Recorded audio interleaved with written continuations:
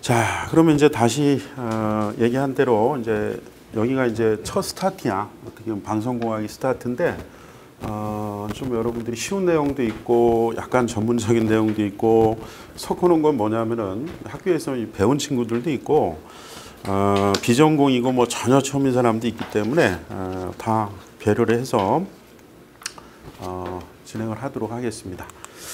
자, 그러면 이제 여러분들이 어, 잘 아시는 뭐 그림 한 장으로 이제 표현한 게 보통 시중에 많이 어, 돌아다니는 그림이에요. 하나는 라디오 방송이고 어, 하나는 어, TV 방송인데 어, 대충 여러분들이 보시면은 어, 여기서 뭐 바로 알 수 있는 게 뭐예요? 여기 안테나가 딱 눈에 들어오죠. 어, 그래서 이제 안테나가 눈에 들어오고 여기서 마이크로웨이브에서 STL이라 그래서 에, 이제 L은 뭘까요? 링크겠지? T는 어, 트랜스미터일 거고 S는 스튜디오. 그래서 여기서 날려준다고. 그러면 이제 간악산 같은 데서 받아가지고 어, 여러분들 집에까지 이제 때려주는 그런 부분이 송출이라 그래요. 송출. 송출이 한 파트가 되는 거고. 어, 두 번째 이제 여기 뭐 부조 같은데 아, 뭐쇼 프로그램이라든가 뭐 뉴스라든가 이런 쪽에서 제작을 하는 게 좀 한 파트야. 아, 그래서 여러분들이 아, 다 여러분들의 영역이에요. 보면 조명 감독도 방송 기술이 하는 거고, 어, 여기에 뭐 편집도 방송 기술이 하는 건데, 카메라 같은 경우는 뭐 카메라 저 약간 좀 예술적인 어, 뭐 앵글이라든가 뭐 그런 부분들이 있기 때문에 카메라만 별도로 어, 방송 기술 안에서 분리가 돼 있어요. 큰 직군으로 보면은 방송 기술로 들어가는데 카메라는 별도 채용을 한다고 어, 이제 그런 부분들 나머지는 뭐 여러분들 뭐 음향, 영상, 뭐 편집 전부 다 어, 방송 기술 영역이에요. 그래서 어, 그 기자나 PD보다도 선발 인원이 많았던 거는 어, 이제 그런 이유 때문에 어, 그런 부분들이 있다는 거지. 이게 뭐냐면은 편집 쪽이 아 여기는 이제 제작. 응? 제작한 거 가지고 이제 뭐 가편집, 종편, 그다음 post production, 뭐 색보정까지 아, 그런 부분들이 이제 편집이 되는 거예요. 편집이. 그래서 편집 파트는 뭐 초짜를 바로 보내지는 않겠죠. 어, 여기는 이제 한 5년 차 이상이 좀 어느 정도 응? 어, 방송에 대해서 조금 음, 아는 그런 부분들이 아마 이쪽으로 좀 가게 되고 처음에 여기 가기는 쉽지는 않아. 응? 아, 그래서 이제 송출로 올라가서 이렇게. 그래서 여러분들이 처음에 바로 가는 데가 뭐냐면은 송출 쪽이나 아, 여기 아, 제작 파트 쪽은 뭐 바로 갈 수 있어요. 왜? 도제식으로 하기 때문에 아, 여러분들이 하나도 몰라도 다 그냥 뭐예요. 어, 아, 다 이렇게 가르쳐 준다고. 그래서 뭐, 뭐 방송 아카데미를 뭐, 뭐 다녀야 돼. 그럴 필요가 없어. 여기도 보면은 뭐 여기 중계차도 있었어요. 그리고 밑에 보면은 저기가 스튜디오였었어요, 여러분들이. 다 부셨다고. 어, 그때 뭐 장비만 해도 막 한 억대 장비 이상이 들어갔는데, 어, 뭐 어떻게, 뭐 지금 어, 흔적만 남아 있어요. 어, 그래서 그 기술은 뭐 여러분들 변화 속도가 워낙 빠르기 때문에 어, 어, 뭐 장비를 뭐 가지고 뭘 한다는 거는 어, 쉬운 일이 아닌 것 같아요. 응? 음. 자, 그래서 여기서 딱 보면 이제 여러분들이 이제 어, 느 파트구나 하는 걸 알 수 있지. 여기가 이제 제작, 편집, 송출 이렇게 나눠진다고 볼 수 있어. 어, 라디오도 마찬가지야. 라디오. 라디오는 더 심플하죠. 응? 굉장히 더 심플한. 어, 이거는 이제 뭐 개인도 할 수 있는 뭐 그런 정도의 아주 간단한 네, 그런 부분들인데 라디오는 이제 뭐 여러분들이 보시면 바로 알 수 있는 그런 부분들이니까 한번 보세요. 자, 그래서 이제 어, 세 개로 나눴다는 거야. 제작, 편집, 송출. 어, 여기서 이제 여러분들이 이제 NL이라고 음, NL이라고 이렇게 나와 있는 거 있죠? 어, 비선형 편집이라는 거지. 어, 요새는 이제 선형 편집이 거의 다 끝물이야. 아, 대부분 다 아, 이제 비선형 편집 시대로 들어가고 있고 여기 3층에 가면은 뭐 KBS, MBC, SBS든 뭐 그렇게 선형 편집기들이 막 쌓여 있어요. 보면은 어, 안 쓰니까 어, 안 쓰니까 뭐뭐 뭐, 어, 일단 자 그래서 이제 여러분들은 이제 최소한 이제 방송 기술이라 그래서 어 뭐 최소한 뭐 이렇게 시스템적인 그런 부분들은 기본적으로 깔고 있으면서 그런 것들을 좀 운영할 수 있는 능력도 있어야 돼요. 그래서 내가 추천드리고 싶은 거는 음, 파이널 컷프로 같은 경우는 비싸잖아, 그지? 아, 프리미어도 뭐 정품 살려면 비쌀 거야. 그런 거 하지 말고 어, 다빈치 리, 리졸브라는 게 16까지 나와 있어. 음? 그게 아마 어, 무료 버전으로 어, 여러분들이 쓸 수 있게 해주는 그런 non-linear 프로그램인데 그게 좋은 게 뭐냐면은 색 보정까지 아, post production 단계까지 전부 다 커버를 해요. 어, 내가 평가할 때는 가장 powerful한 것 같아요. 아, 그래서 여러분들이 한번 조별로 한번 검색해보고 그래서 학원에서도 아마 그 과정을 좀 한번 열어볼까 하는 생각도 하고 있어요. 왜냐하면 여러분들이 무료로 그거를 그 다운로드를 받을 수 있어. 물론 그 무료가 아니야. 아, 무료가 90% 정도는 무료고 10%를 유료로 해왔는데 그 10%는 아주 전문적인 아주 전문적인 뭐 그런 사람들 아니면 만지기가 쉽지 않은 기능들이 어, 유료야. 그러니까 여러분들 90이면 여러분들이 하고 싶은 거 다 할 수 있어요. 아, 그래서 내가 이렇게 보기에는 어, 프리미어나 아, Final, Final Cut Pro나 이런 것보다 훨씬 더 어, 광범위하고 어, 여러분들이 그런 거 하나 배워놓으면 색보정까지 다 할 수 있어요. 어, 뭐 vectorscope, 뭐 color bar 다 어떤 건지 그 소프트적으로 다 이해할 수 있고 어, 굉장히 많은 걸 여러분들이 할 수 있는 어, 그런 프로그램인 것 같아요. 아, 그래서 한번 그거 한번 인터넷 검색하면은 어, 다운로드 받을 수 있을 거예요. 어, 받아서 한번 근데 이제 문제가 뭐냐면 여러분들의 PC 성능이 좀 떨어지면은 굉장히 버벅대. 응? 그게 용량이 굉장히 크기 때문에 그러니까 어, 좀 성능 좋은 PC 하나 좀 갖다 놓든가 아니면은 뭐 디램을 갖다 더 붙이든가 아니면 뭐 그런 좀 조치를 해서 어, 좀 해놓으면은 나중에 여러분들이 한 줄이라도 덜 쓸 수 있단 말이야. 응? 나중에 자기소개서 하든 어디 뭐, 어, 뭐 어프로치를 하든 간에 음. 그래서 이런 것 좀 알고 계셔야 돼. 그래서 이게 좀 아셔야 된다 하는 얘기고. 어, 그 다음에 뭐 여러분들이 이제 송출 쪽에서는 어, 뭐 시험 문제 나올 만한 거는 뭐 여러분들이 뭐 계산 문제 아, 그런 것들이 하나 나올 수 있을 거야. 응? 그래서 계산하는 거, 어, 뭐 그런 부분들. 그래서 자 크게 세 가지로 돼 있다 이렇게 좀 보시면 될 것 같고 어, 요 NLE는 한번 오늘 수업 끝나면 꼭 한번 해보세요. 그래서 내가 어, 무료로도 한번 좀 강좌를 한번 열어볼 생각도 있어. 어, 내가 보기에는 제일 나은 것 같아. 무료면서. 그게 뭐 곰이라든가 뭐 이런 데서 하는 건 애들 장난감이고 그런 거 말고 완전히 그 프로페셔널 하면서 무료 버전이 어, 아까 얘기한 다빈치 리졸브 16 한번 좀 다운로드 받아봐. 음. 내가 뭐 판촉 사원 아니야. 그 무료니까. 어. 자, 그래서 여러분들이 이제 어, workflow라고 이제 음, 얘기를 했는데 먼저 ingest부터 시작하겠지? ingest에서 그 다음 뭐 하는 거야? editing하지? 그 다음 뭐해? 어? 음, 그 다음에 playout하지. 그 다음 뭐 하지? archiving 하는 거야. 이게 이제 큰 흐름이야. ingesting, editing, 그 다음 뭐라고? playout. playout이 뭐야? 송출. archiving은 송출한 다음에 나중에 또 쓸 거 대비해서 도서관처럼 어, 콘텐츠를 저장해 놓는 거야. 응? 아, 그래서 이런 과정들이 어, 여러분들이 여기서 뭐 가편집이라든가 종편이라든가 가편집은 여러분들 뭐 어, 무거운 거 쓰면 안 되겠지. 뭐 가벼운 것들, 어, 뭐 예를 들어서 엠페관이라든가 뭐 그런 것들 가벼운 거, 뭐 그냥 뭐 어떻다는 그림 정도 가지고 편집하면 되는 거니까 무거운 거 쓸 필요 없어, 그지? 근데 여기는 이제 실제 뭐예요? 어, 실제 뭐 영상을 가지고 이제 내보내고 해야 될 그런 부분들이야. 어, 뭐 다 보시면 여러분들이 이러면 다 알 거야. 부조, 뭐 뉴스 부조, 뭐 드라마 부조, 그걸 부조라 그래. 어, 그래서 여기 N, M, A, N은 어, 뭘까요? M, A, N. 한번 여러분들 어, 수업 들었던 친구들은 CMS, 뭐 M, A, N 뭐 이런 것들을 다 했는데 M이 뭘까? 미디어, A는 에셋, 뭐 미래 에셋 하는 그런 에셋, 매니지먼트 시스템의 약자야. 아, 이게 CMS나 DAM 이렇게 얘기하는 친구도 있어요. 자, 그 다음에 이제, 어, 여기에 보면은, 이제, 뭐, 여기 보면은, 이제 백업이라고 돼 있는데, 여러분들이 이제 문제 될 만한 게 백업하고 아카이빙이 무슨 차이점이 있는지 꼭 잘 물어봐요. 면접도 물어보고. 백업과 아카이빙의 차이점이 뭐냐? 그러면 최소한 그 정도는 얘기해 줘야 돼. 백업은 장애 대비지? 그러니까 아카이빙하고는 다른 거야. 응?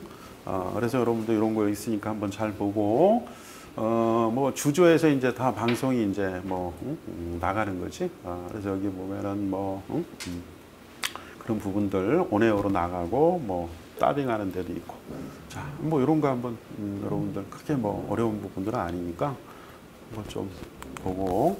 자, 그래서 이제 여러분들이 음, 주로 이제 어, 전통적으로 에, 여러분들 시험 문제는 여기서 많이 나와요. 시스템 엔 여러분들은 어떻게 보면 시스템 엔지니어야. 아, 여러분들은 그러니까 여러분들은 오퍼레이터는 아니거든요. 아, 오퍼레이터는 아닌데 아까 얘기한 대로 이제 operation도 할 수 있어야 된다는 거예요. 그냥 방통 융합이 되면서 자꾸 시대가 바뀌고 있어요. 어, 예전에는 뭐 RF 엔지니어 그럼 RF만 해도 먹고 사는데 지장 없는데 지금은 아니야. RF는 기본으로 깔고 거기에 뭐예요? 음, 네트워크도 기본으로 깔고 거기에 뭐예요? 시언어도 기본으로 깔고 거기에 또 뭐예요? 이렇게 아까 얘기한 대로 어, 오퍼레이션도 할 수 있어야 돼. 그러니까 시대가 어떻게 바뀔지 몰라요. 그러니까 다채널 다매체 시대가 지금 도래했고 어, 생각외로 지금 유튜브라든가 넷플릭스의 성장 속도가 뭐 굉장히 빨라. 아, 굉장히 빠르다는 거는 지상파한테는 그렇게 좋은 소식은 아니에요. 응? 어, 그게 이제 적응을 해야 되거든요. 그런데 어, 지상파에 이제 여러분들이 뭐, 뭐 KBS 같은 경우 음, 여기서 얘기하는 거는 뭐 이게 외부로 송출 안 돼요. 내부에서만 볼 수 있는 거니까 혹시 내가 뭐 정치적인 발언을 하거나 뭐 그런 얘기 하더라도 어, 수업을 위한 거니까 이해하세요. 내가 뭐 수업하면서 엉뚱한 얘기하는 스타일은 아니잖아. 근데 이 수업은 어, 이제 그런 특성이 좀 들어가야 돼. 응? 어, 이게 좀 시사적인 부분도 엮어야 되고 하는 부분 때문에 어, 내가 미리 양해를 구하는 거야. 어, 저 사람은 뭐 좌파야. 저 사람은 뭐 우파야. 그런 거 아니에요.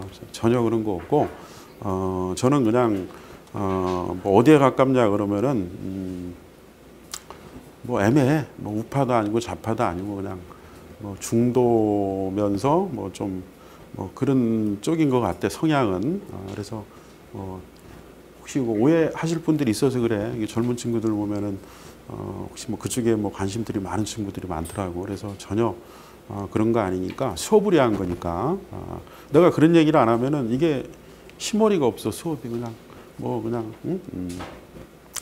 그래서 이제 뭐 KBS 같은 경우는 여러분들이 요새 공영방송이 아니지. 그게 무슨 공영방송이야. 국영방송이지. 응?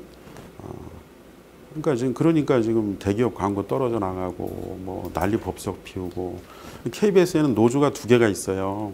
음? 음, 노조가 두 개가 있는데 지금 양승동이가 아, 있는 노조가 지금 뭐 전권을 다 휘둘리고 있다고 지금 음, 그러다 보니까 한쪽 노조는 찌그러져 있어가지고 말도 못하고 뭐 좀 그런 입장인데 글쎄 그 노조가 있어야 될 어떤 그런 거는 충분히 이해하지 그런데 여기 공영방송이란 말이야. 공영방송이란 공영이 뭔가를 한번 생각해 보란 말이야. 공영이 어, 자나우나 치우치면 안 되거든. 응? 그런데 김재동이나 뭐 등장시키고 이런 건 벌써 문제가 있다는 거거든요. 걔는 잘하고 이미 다 낙인 찍긴 했는데 걔가 공영방송에 뭐 그걸 한다는 거는 누가 봐도 그거는 공영이라 그럴 수가 없어요. 그렇다고 시청률이 뭐 나와서 붙인 것도 아니잖아. 시청률도 뭐 3%도 안 나오고, 어? 그 뭐야 또 가져가는 출연료는 어마어마하고 뭐 이거는 도저히 뭐 해석할 수 있는 방법이 없는 거야. 위에서 찍어 내린 거 외에는. 음. 그러니까 자꾸 뭐야 어? 어, 대기업 애들 광고 자꾸 떨어져 나가는 거고 음? 시청료 인상을 해야 되는데 허짓거리 하니까 뭐 인상도 못 시키고 있는 거. 그러니까 뭐 지금 굉장히 좀 음, 그런 부분들이 그게 또 여러분들한테 여파를 안 주면 상관이 없 여러분들한테 여파를 준단 말이야. 그러니까 지금 베이비 부모가 빠져나가니까 엄청 뽑아야 돼. 뭐 방송기술증만 그때 들어갔던 사람들이 뭐 한 100명 이상씩 들어갔기 때문에 정상적인 어떤 그런 거라면은 50명 이상씩 매년 뽑는 게 맞아요, 지금. 응? 음. 그러니까 이제 그런 부분들이 이제 음, 어, 좀 여러분들한테 여파를 미치는 것 같아. 응? 얼마 전에 그 뭐 태양광 복마전이라고 한번 때린 적이 있었지. 어, 그거 때렸다고 그냥 허인의 따까리가 청와대를 다 지금 접수한 상황이기 때문에 바로 그냥 압력이 들어와 가지고 그 프로그램 통폐합된다 그러잖아. 그게 말이 되는 거냐고. 어떤 프로그램을 내보냈다고 그 나는 요새 좀 이상한 것 같아. 이게 좀 어, 물론 이제 어, 정치를 하는 애들의 목적은 정권 획득이고 한 번 더 해먹는 게 걔네 최대의 목적이라는 걸 인정은 하는데 어, 문제는 뭐야? 피해를 보는 사람이 있으면 안 되잖아. 이게 정치라는 게 다 국민들 좀 편안하게 신경 안 쓰고 뭐 이렇게 하려고 하는 거지. 지네 한 번 더 해먹겠다고 하는 건 아니잖아. 응? 그러니까 그 저 뭐 박정권이 워낙 개판을 쳐놔가지고 그 뭐 잘해서 정권을 받은 게 아니잖아. 어부지리로 그냥 응? 받아온 이제 그런 거면 잘할 생각을 해야지. 근데 이건 뭐 그냥 글쎄 뭐 지금 음, 엉망인 것 같아. 내가 평가하기에는. 응? 최저임금에서 자영업자 다 죽여버리고, 응? 그 다음 뭐야 52시간에서 중소기업 다 죽여버리고, 또 이제 뭐 일본하고 부딪혀가지고 대기업까지 이제 아장되려고 지금. 그러면은 도대체 그 정치를 하는 이유에 대해서 한번 물어보고 싶어. 응? 옛날에 그렇게 길거리에서 돌 던지고 말이야. 어, 그랬던 애들이 지금 다 그 자리에 앉아 있는 애들인데. 물론 나도 그랬어요. 나도 똑같이 뭐 그냥 아 이건 아니다 뭐 그랬는데 지금 보니까 좀 뭔가 이건 또 아닌 것 같아. 응? 그래서 이제 문제는 여러분들한테 그 영향이 가면 안 된다는 거야. 그런데 음, 그러니까 이제 그 뭐 자꾸 이제 뭐 광고 자꾸 줄고 응? 시청률 올리지 못하고 연봉은 또 엄청나게 또 많이 주고 그리고 또 있는 사람은 내보내지도 못하고 그럼 뭐 어떡하자는 거야. 그러니까 그 일 안 하고 그냥 그 지역국이나 이런 데 그냥 맨날 출근해서 엉뚱한 짓거리 하는 사람들 많거든. 그 사람들만 내보내도 한 명 나가면 아마 여러분들 한 세 명 뽑을 수 있을걸 인건비가. 글쎄 그런 것도 한번 고민을 해봐야 될 것 같아. 그냥 무조건 뭐 그냥 정년 보장하고 하는 것도 차선의 방법은 아닌 것 같아. 공영방송이 국영방송은 아니잖아. 지금 MBC가 지금 어떤 상황인지 여러분들 아시잖아. MBC 개판됐잖아요, 여러분들. 그것도 좌파 하던 애가 그냥 그 저 다 바꿔버려가지고 지금 천억 이상이 적자지. KBS도 지금 아마 올해 적자가 꽤 늘어날 거야. 그러다 보니까 또 그게 또 여러분들한테 여파가 가는 그런 부분들이 있는데 아, 여러분들은 그런 거 흔들리지 말고 그냥 열심히 하면 돼. 응? 그러면은 기회가 와. 응? 아, 그러니까 지금 노조 두 개가 있고 뭐 하여튼 역학 구조가 있어. 그러니까 어디에서 얘기하는 게 뭐 다 맞고 하는 것도 아니고 한번 어, 단지 이제 KBS가 어려운 건 사실이야. 아, 그걸 어떻게 헤쳐나갈 거냐 하는 것도 어, 내부적으로 고민을 한다는 건 사실이고 근데 이제 여러분들한테 뭐라 그럴까 조금 불리한 얘기가 뭐냐면 올해 상반기에 공채를 뽑았어. 그러니까 그게 빌미가 되는 거야. 그걸 뽑지 않았어야 돼. 근데 상반기에 뽑아놓으니까 굉장히 청와대 놈들이 빌미를 딱 잡은 거지. 뭐 임마 1년에 두 번이나 뽑아. 어? 뭐 이런 식으로 니네 뭐 한번 해볼래? 뭐 이런 식이 돼버리니까 이게 뭐 무슨 뭐 지금 어떻게 될지는 아직 몰라요. 음, 아직 모르는데 그런 부분에서 하여튼 지금 정상적으로 돌아가는 음, 그런 환경은 아닌 것 같다. 음, 완전히 국영방송화 시키겠다는 건지 지금 예, 뭐 그건 그렇고 자 여러분들이 이제 여기 하드웨어에 신경을 쓰란 얘기야. 그래서 이제 하드웨어가 시험 문제가 주로 나오는 파트가 이제 하드 쪽이고 여기 이제 operation 쪽은 여러분들이 신경 안 써도 아무 상관이 없었던 부분인데 다채널 다매체가 되면서 여러분들도 신경을 쓰셔야 된다는 거야. 응? 아, 1인, 1인 미디어 시대로 가고 있기 때문에. 음. 자, 그래야지 이제 여러분들이 그걸 하면서 이런 부분에 대한 어떤 노하우가 됐든 뭐 감이 됐든 그런 걸 느낄 수 있어야 돼요. 이건 뭐 방송 기술하고 상관없다 그러면 안 돼. 지금은 여러분들이 예전하고 많이 달라지는 게 이런 거 이런 거라 그랬지 제가. 음? 음.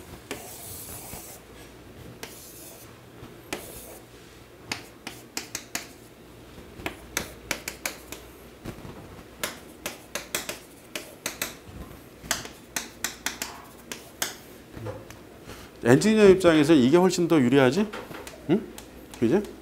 어, 이게 이제 80년대 어? 어, 이때 아주 뭐잘 나갔지 뭐 그냥 지금은 어때요? 지금은 글쎄 뭐 이, 물론 이게 서로 상호작용을 해요. 응?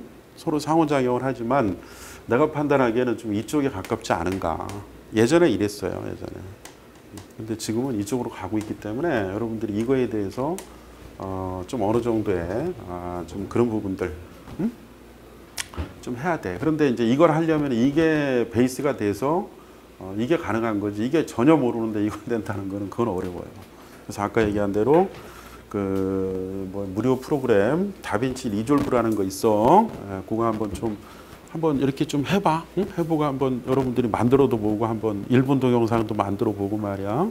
아 그래서 아 이렇게 하니까 좀 낫더라 하는 좀 감도 느껴보고 그랬으면 좋겠어. 자 그래서 이 세 가지로 나눠져 있다는 거야. 그래서 전통적으로 이제 방송 기술은 여기에 많이 치우쳐져 있던 거예요. 그래서 전자공학과나 뭐 통신공학과나 매체공학과나 뭐 이런 애들이 이제 주로 이쪽으로 갔었는데 어, 지금은 이제 그렇지 않다는 거야. 이제 뭐 음대, 뭐 미대, 뭐, 뭐 얼마든지 어, 이런 부분들이 된다면은 음, 들어갈 수 있다. 이렇게 좀 보시면 되겠어요. 넓어졌어요, 굉장히. 전공이 큰 의미를 갖지 않습니다. 아, 필답 시험만 통과한다면은. 음. 자, 그래서 이제 여기서 에, 여러분들이 이제 뭐 pre production 이건 뭐 무슨 얘기인지 바로 아는 기본적인 용어들이니까 pre, post 뭐 이런 얘기들은 이런 게 이제 여기는 안 써 있지만 색보정이라든가 그런 것들이 어, 여기서 되는 영향, 여기서 되는 이거예요. 그래서 이게 이제 어, 어떤 프로그램의 완성도라든가 뭐 quality를 여기서 결정한다고 보면 될 거예요. 그지? 어, 이런 거. 음. 어, 그 다음에 뭐 프로덕션이 아까 뭐 제작 쪽이고 이거는 뭐 기획이라든가 뭐 준비하고 뭐 이런 것들 어, 한번 그래서 요새 좀 안타까운 이제 KBS가 대화 드라마 같은 걸 못 만들지 지금 그 왜 못 만들까? 대화 대화 드라마를 만들어야 되는 당위성은 어, 공영방송의 어떤 의무 중에 하나거든. 난 그거는 응? 뭐 민족의 정책성이라든가 응? 뭐 응? 그런 그런데 지금 못 하고 있잖아. 이건 뭐야? 돈 때문에 그런 거야. 돈 때문에 예산이 엄청 들어가니까. 응? 어, 이제 그런 음. 자 그래서 이제 MBC가 만들 수 있는 게 있고 SBS가 만들 수 있는 게 있고 KBS가 만들 수 있는 게 있거든. 난.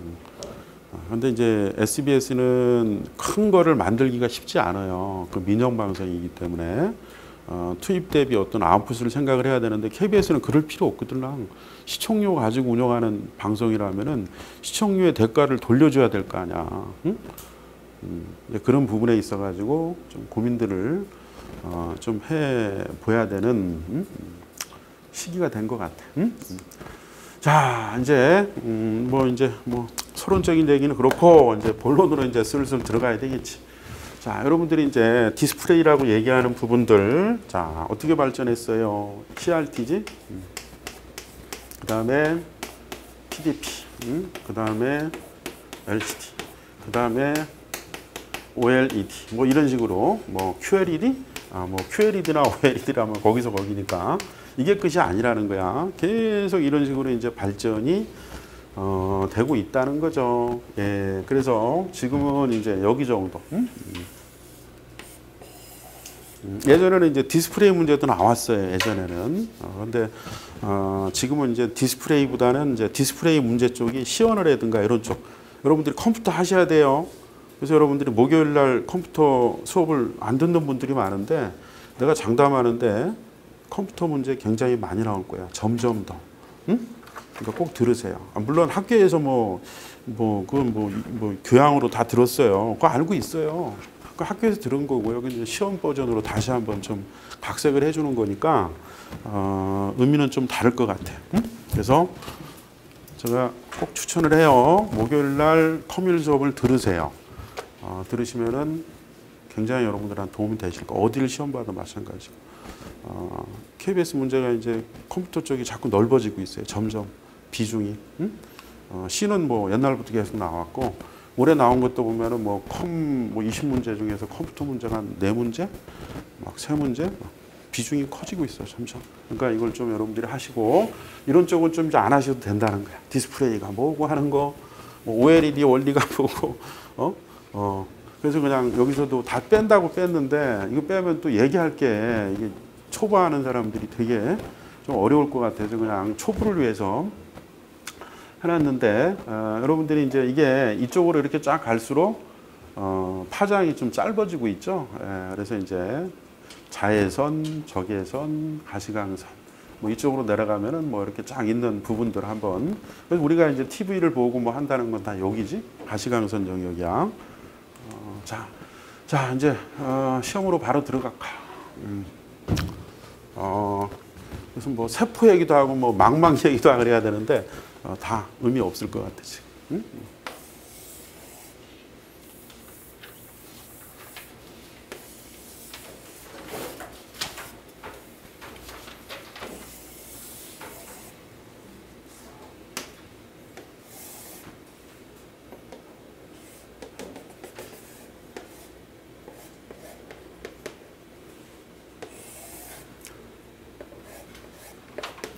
자, 뭐 대충 음, 원뿔 같이 그려져 있죠? 어, 요거를 이제 휴라 그래, 휴. 음? 음. 자, 그래서 여기에 이제 H라고 된 게 여러분들이 여기서는 휴라고 돼 있나? 음? 음, 그래서 이제 이게 색상. 빨주, 노초, 파남보 이런 부분들이 여기에 해당하는 거예요. 여기, 여기에, 여기에 해당하는 게 아, 그거다 이런 얘기고 그 다음에 이제 여러분들이 시도라고도 얘기하고요. 또는 뭐 명도라고도 얘기해요. 시도 또는 명도, 인텐시티라고 얘기하는 건데 자, 그게 여기서는 지금 음, 요걸로 요거 여기가 여기가 화이트지? 여기가 이제 블랙이야. 그지? 음, 블랙. 아 자, 요거는 이제 명도라고 얘기를 하기도 하고요. 시도라고 얘기를 하기도 합니다. 응?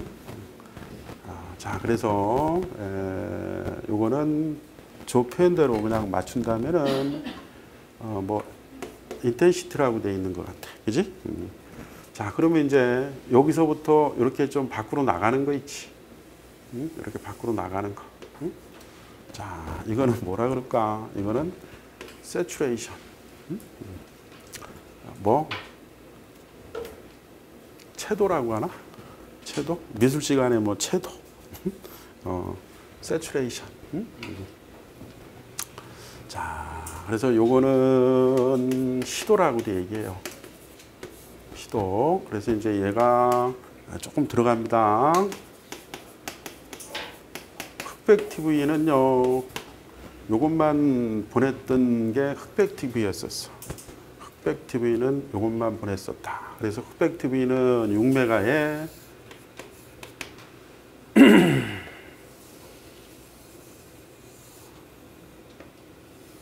이게 picture carrier고 음, 여기가 이제 휘도 신호 Y라고도 얘기하지. 이것만 흑백 TV를 그린다면은 스펙트럼에서 요거는 이제 sound carrier, sound carrier, sound. 그러니까 음성 반송파, 뭐 영상 반송파. 뭐 요게 이제 흑백이었었어요. 그래서 여기가 얼마냐? 음, 1.25다. 그러면 여기 여기는 서로 영향을 주지도 받지도 않아야 되거든 캐리어 간에. 그래서 여기는 4.5 메가다. 그리고 여기는 0.25 메가다. 그래서 6메가 있었어요. 예전에도 6메가 있었어. 지금도 6메가지만. 그래서 1.25, 0.25, 4.5 하면 6메가 맞아? 어, 이게 얼마까지냐면은요. 시도 신호는요. 음, 0에서 4.2메가 대역을 0에서 이제 4.2 메가 대역을 어, 사용을 이제 하는 이제 그런 부분이 어, 바로 뭐냐? 음?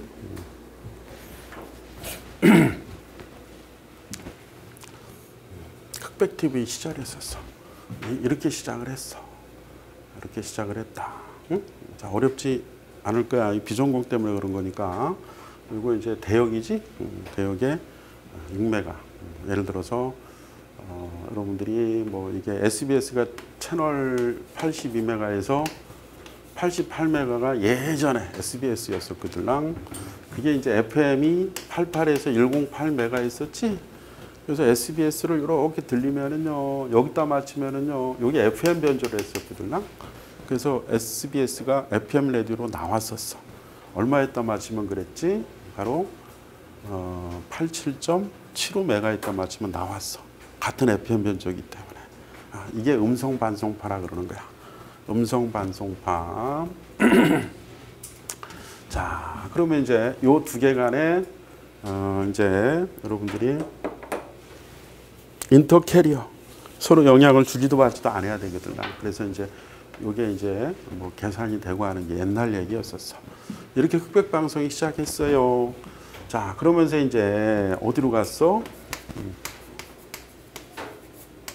칼라 TV로 갔잖아. 그런데 여기를 그대로 쓰면서 칼라 방송을 해야 됐던 거였었어. 여기를 그대로 쓰면서 칼라 방송을 해야 되는 문제가 있었어요. 그래서요 여기를 그대로 쓰면서 칼라 방송을 하기 위해서 음, 하기 위해서 음, 굉장히 중요한 거야. 그대로 쓰면서 칼라 방송을 해야 되는 거야. 그래서 음, NTSC로 얘기하면 I하고 Q 음, I, Q 0에서 1.5메가 0에서 0.5메가 요거를 색차 신호라고 얘기를 해서 요 안에다가 넣었어요. 왜냐하면 얘가 있잖아 에너지가 꽉 찬 게 아니고 어, 비는 영역이 있었거든요. 그 비는 영역에다가 비는 영역에다가 아, 비는 영역, 응? 비는 영역에다가 음,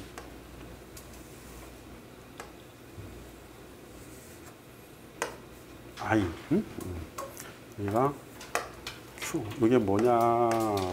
음, DSB SC면서 요거를 이제 carrier를 어, 보내줬던 자 여러분들이 이게 무슨 변조지? 링 변조지? 링 변조, 링 변조라는 거. 그러니까 그런 것들을 이제 다 여러분들 했기 때문에 다 이제 처음 하는 친구들은 좀 그런 부분이 있어. 뭐다알거 없고. 음, 그래서 요거는 이제 음, 여기가 기준하는 여기가 0 여기가 Q구나. IIQ가 되는 거야. 여기가 0.5, 여기 1.5. 그러니까 이게 여기까지 이렇게 가니까 필터 가지고 잘라버렸거든. 그런 건 이제 큰 의미가 없어. 옛날 얘기니까. 자, 그러면 얘는 이제 음, 시도했었지? 시도 시도. 그래서 여러분들이 이제 칼라에서는요, 얘를 이제 이 방송을 하면서 어, 칼라는 RGB지? 음, RGB를 가지고 이 희도 신호를 만든 거야. 음? 음, R, G, 이게 전압이야. 요거 가지고 시도 신호를 만들었는데 0.30, 0.59, 0.11. 자, 이렇게 해서 시도 신호를 만들었어요. 자, 이거 봐봐. 음, 그러면은 얘가 1, 얘가 1, 얘가 1, 얘가 1이 되지? 1, 1, 1 그러면 여기가 되는 거야. 그지? 그리고 만약에 0, 0, 0이면은 여기가 되는 거야. 자, 여기서 이제 여러분들이 중요한 게 뭐냐면은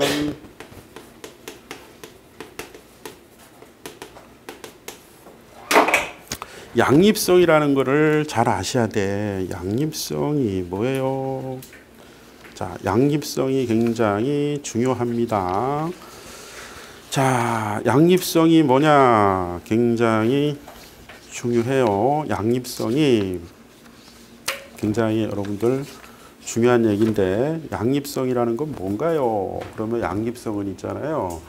자, 칼라 방송을 하더라도요. 흑백 가진 사람들이 방송을 볼 수 있게 해줘야 되는 거야. 자, 이제 칼라 방송을 하는데 흑백 가진 사람들은 방송을 못 본다. 그러면 안 되지. 나는 돈이 없어서 칼라 TV 못 샀어. 다 옛날 얘기야. 이해를 하라 그러는 거야. 난 돈이 없어서 칼라 TV 못 샀어요. 그럼 방송 보지 말라는 얘기야? 말이 안 되잖아. 그지? 음, 그 방송 보게 해줘야지. 음, 이렇게 했어, 이렇게. 이렇게 했어. 음, 잘 생각해. 이렇게 했다. 이렇게 하면은 어, 칼라 방송을 하더라도 흑백 가진 사람은 요것만 수신하는 거야. 요것만 수신하면은 칼라 방송을 흑백으로 볼 수가 있었어요.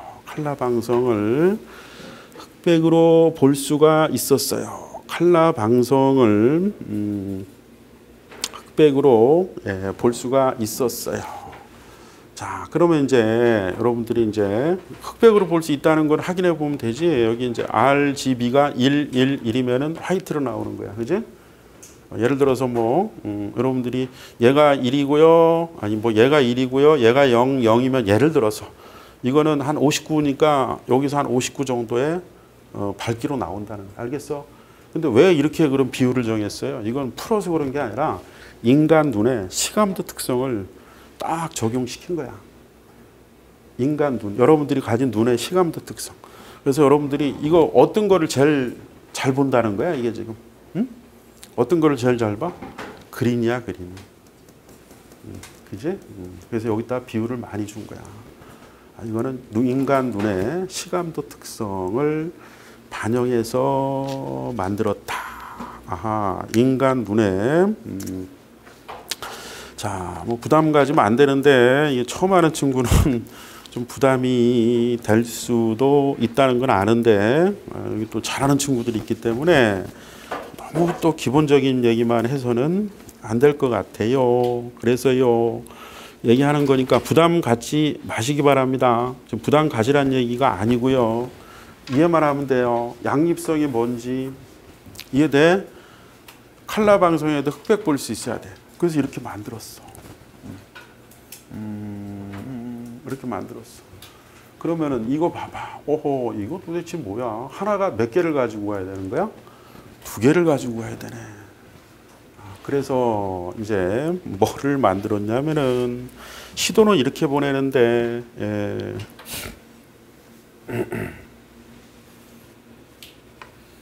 전공한 친구들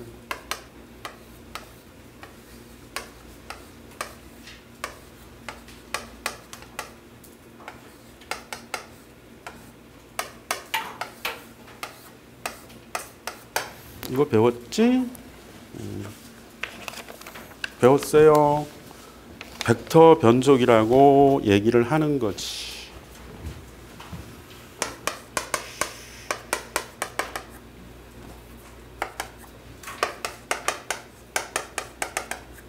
이거는 변족이야, 변족이. 변족이다. 그러면 여기에 코사인 2파이 FCT 들어가면은 여기는 사인의 2 파이 FCT가 이렇게 나오지? 90이니까.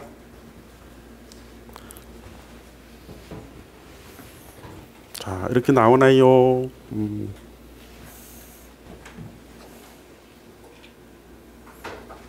자, 이거 봐봐.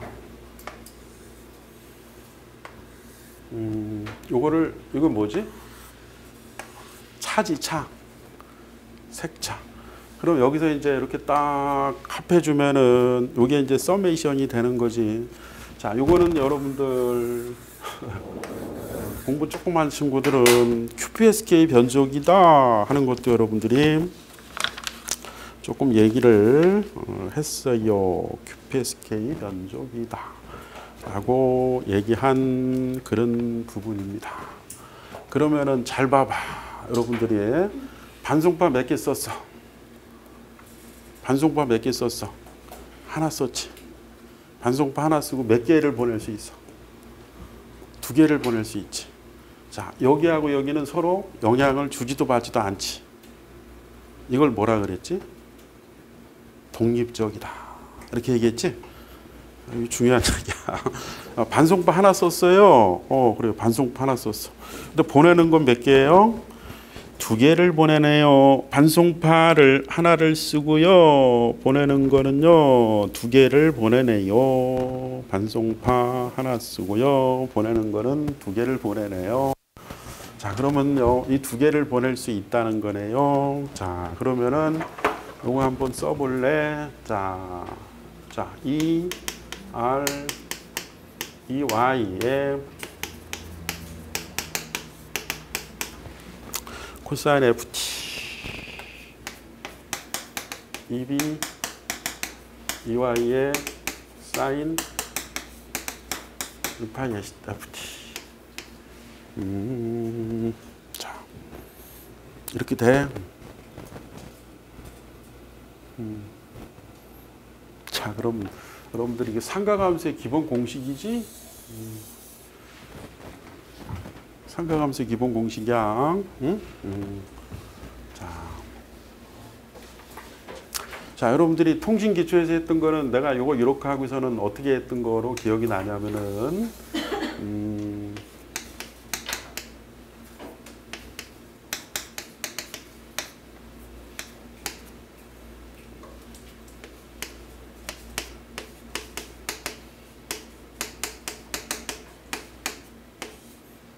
좀 전공한 친구들 배려하겠다 그랬기 때문에 비전공 친구들은 뭐 아 이런 거 있어 하면 돼.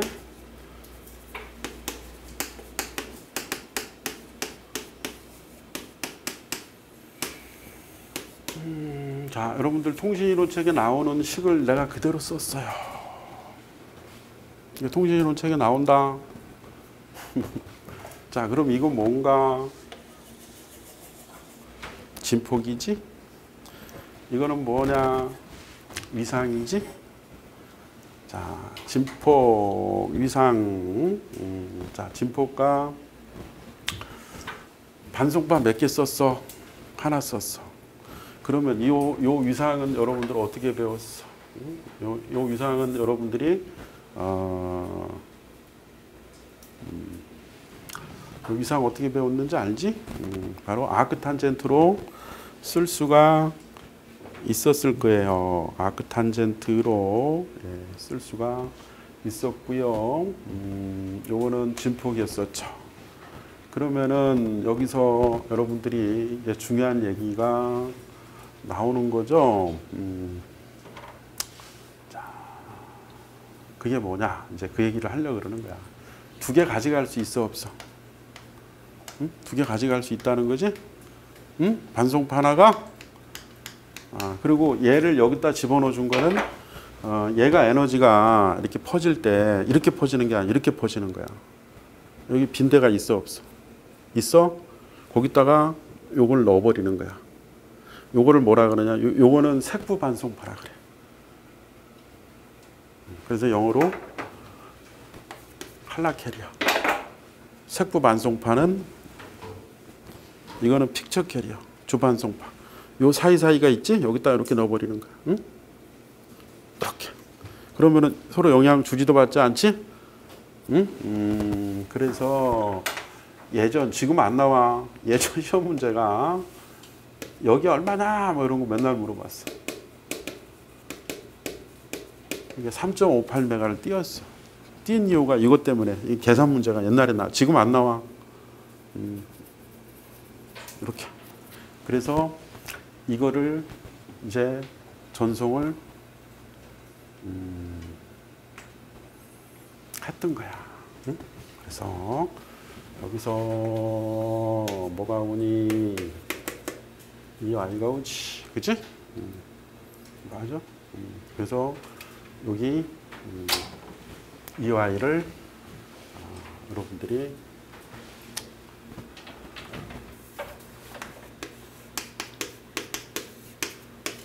요거를 이렇게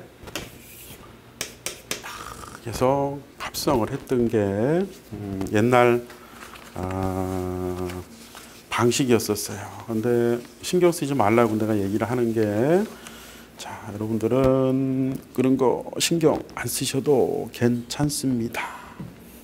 내가 이제 하라는 것만 정확하게 아, 여러분들은 해주시면 되고 이거는 양립성 때문에 양립성이 어떤 개념인지 때문에 얘기를 하고요. 뒤에 이제 이런 그림이 나왔을 때 자세히 얘기를 해줄 겁니다. 그러니까 미리 조금만 얘기했어. 응? 자 이게 뭐라고요? 색차 신호야. 자 그런데 여기 퀴즈 하나 낼게. 여기는 왜 넓고 여기는 왜 넓지 않을까? 여기는 왜 되게 넓을까? 음, 여기는 많은 정보를 보내야 된다는 거 여러분들이 잘 알아먹는다는 거야. 음, 근데 이거는 잘 알아먹지 못한다는 거야. 음, 근데 이것보다 이거는 더 잘 알아먹는다는 거야. 그래서 대역을 더 많이 준 거야. 똑같이 주지 왜 다르게 줬어요? 오, 그래서 그런 거야. 여러분들이 잘 분간하는 색은 자세하게 보내주고 그렇지 못한 거는 대충 보내주고 그들라. 응? 자 그러면 이제 내가 얘기하는 거 나는 시스템적으로 요거 정도 알으면 좋겠다는 거야 시스템적으로 그런데 비전공은 이게 어려울 거야 지금 그런 거 할 필요 없어 근데 나중에 다 알아 응? 지금도 알 거 없어 지금 중요한 거는 양립성이 뭔지 용어 하나 챙기고 응? 음. 자 그 다음에 이제 어디로 갔어 응? 응. DTV로 넘어가잖아 그지? DTV로 넘어가는데 육명화는 계속 쓰자는 거잖아. 어, 떻게 할 건지 이제 그 부분에 대해서 자 이제 얘기를 할 건데 자 이제 미술 시간 얘기들은 여러분들 시중에 다 있어요. 뭐 이거는 뭐 어, 여러분들이 뭐 미술은 더 잘할 거니까 내가 얘기할 건 없고 시험 문제 정도 나온다면은 자 인간이 구분할 수 있는 세계수는 몇 개나 되겠냐 그러면은 여기서 여러분들이 색상은 일반적으로 한 200가지를 구분할 수 있대 여러분들이 빨간색, 뭐 약간 빨간색, 아주 진하게 빨간색 그런 식으로 따지면은 200개 정도 되는 모양이야. 그 다음에요, 어, 이 이게 시도 같은 거 있지, 응? 밝고 어두운 정도, 오케이? 어, 그거는 한 500단계까지. 야 이거 봐봐, 시도가 단계가 되게 많지? 음, 그럼 500단계를 500단계. 500단계. 채도는 여러분들 뭐라 그럴까요? 뭐 이렇게 맑고 탁한 정도 정도로 번역이 되나? 응? 그지? 맑고 탁한 정도. 뭐 그게 이제 포화도 세츄레이션 뭐 그런 정도인데 걔는 뭐 잘 구분을 못 해. 20단계밖에 안 돼. 그러면 이제 여기서 이게 나오는 거지. 이제 200에 500에 20 하면은 이게 여러분들이 구분할 수 있는 색이라는 거야. 오케이? 음, 자, 됐어요. 음, 자, 됐고. 자, 여기서 이제 여러분들 또 하나 이제 외울 만한 게 있다. 그게 뭐냐. 음.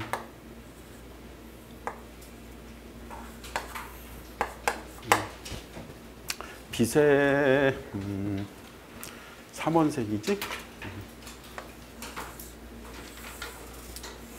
RGB가 빛의 삼원색이지?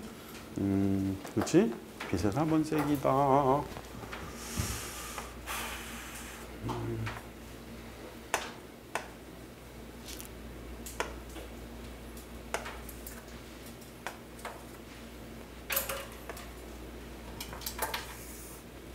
이건 뭐 내가 그리는 거야. 그러니까 뭐 이게 뭐 어디 나와 있는 거 아니야. 음, 자. RGB 이게 뭐지? 옐로 그지? 맞나 옐로? 음. 여기 뭐야? 마젠타 그죠? 어, 여기는 시안 음. 맞아요? 외워 RGB Y 아니다 여기가 M인가? 미안해 음. 이렇게 돼야 되겠다 그지? 하도 오래간만이니까 좀 헷갈리네. 응? 자, 자, RGB YMC 오케이? RGB YMC RGB YMC 음. 자 RGB 그러니까 R은 레드 얘기하는 거예요. 레드 음, R은 레드를 얘기한다. G는 음, 그린을 얘기한다. 응? RGB, YMC.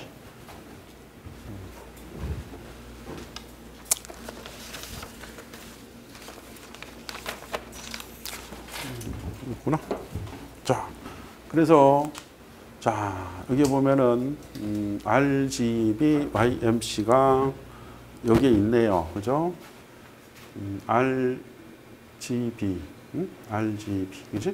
R하고 그림자의 Y. 음? 그래서 여기 여러분들이 외우기 좋게 내가 이렇게 해준 거야. 응? YMC 많이 듣던 회사잖아. 아, 단체잖아. 자, RGB YMC. 그래서요. 여기 요거 요거 있지. 요거는 출판 분야에서 많이 쓰는 그런 쪽이야. 감색법이다. 그런 거 들어봤나? 여기는 가색법이고.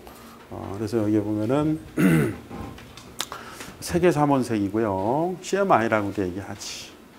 출판 분야에서 많이 쓰는 거야. 그래서 요 부분들, 음, 요 부분들을 어, 여러분들이 색의 삼원색이다. RGB는 빛의 삼원색이다.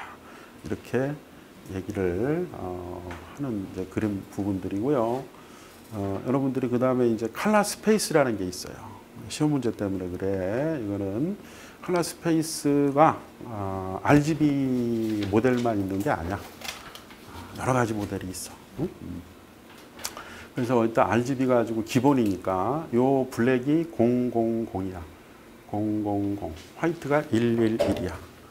여기가 뭐라고요? 000. 여기가 뭐라고요? 111. 그러면 좌표가 다 결정이 되겠지. 이거 어려운 거 아니야. 그러면 이제 R은 뭐냐? 100. G는 뭐냐? 010. B는 뭐냐? 001. 오케이?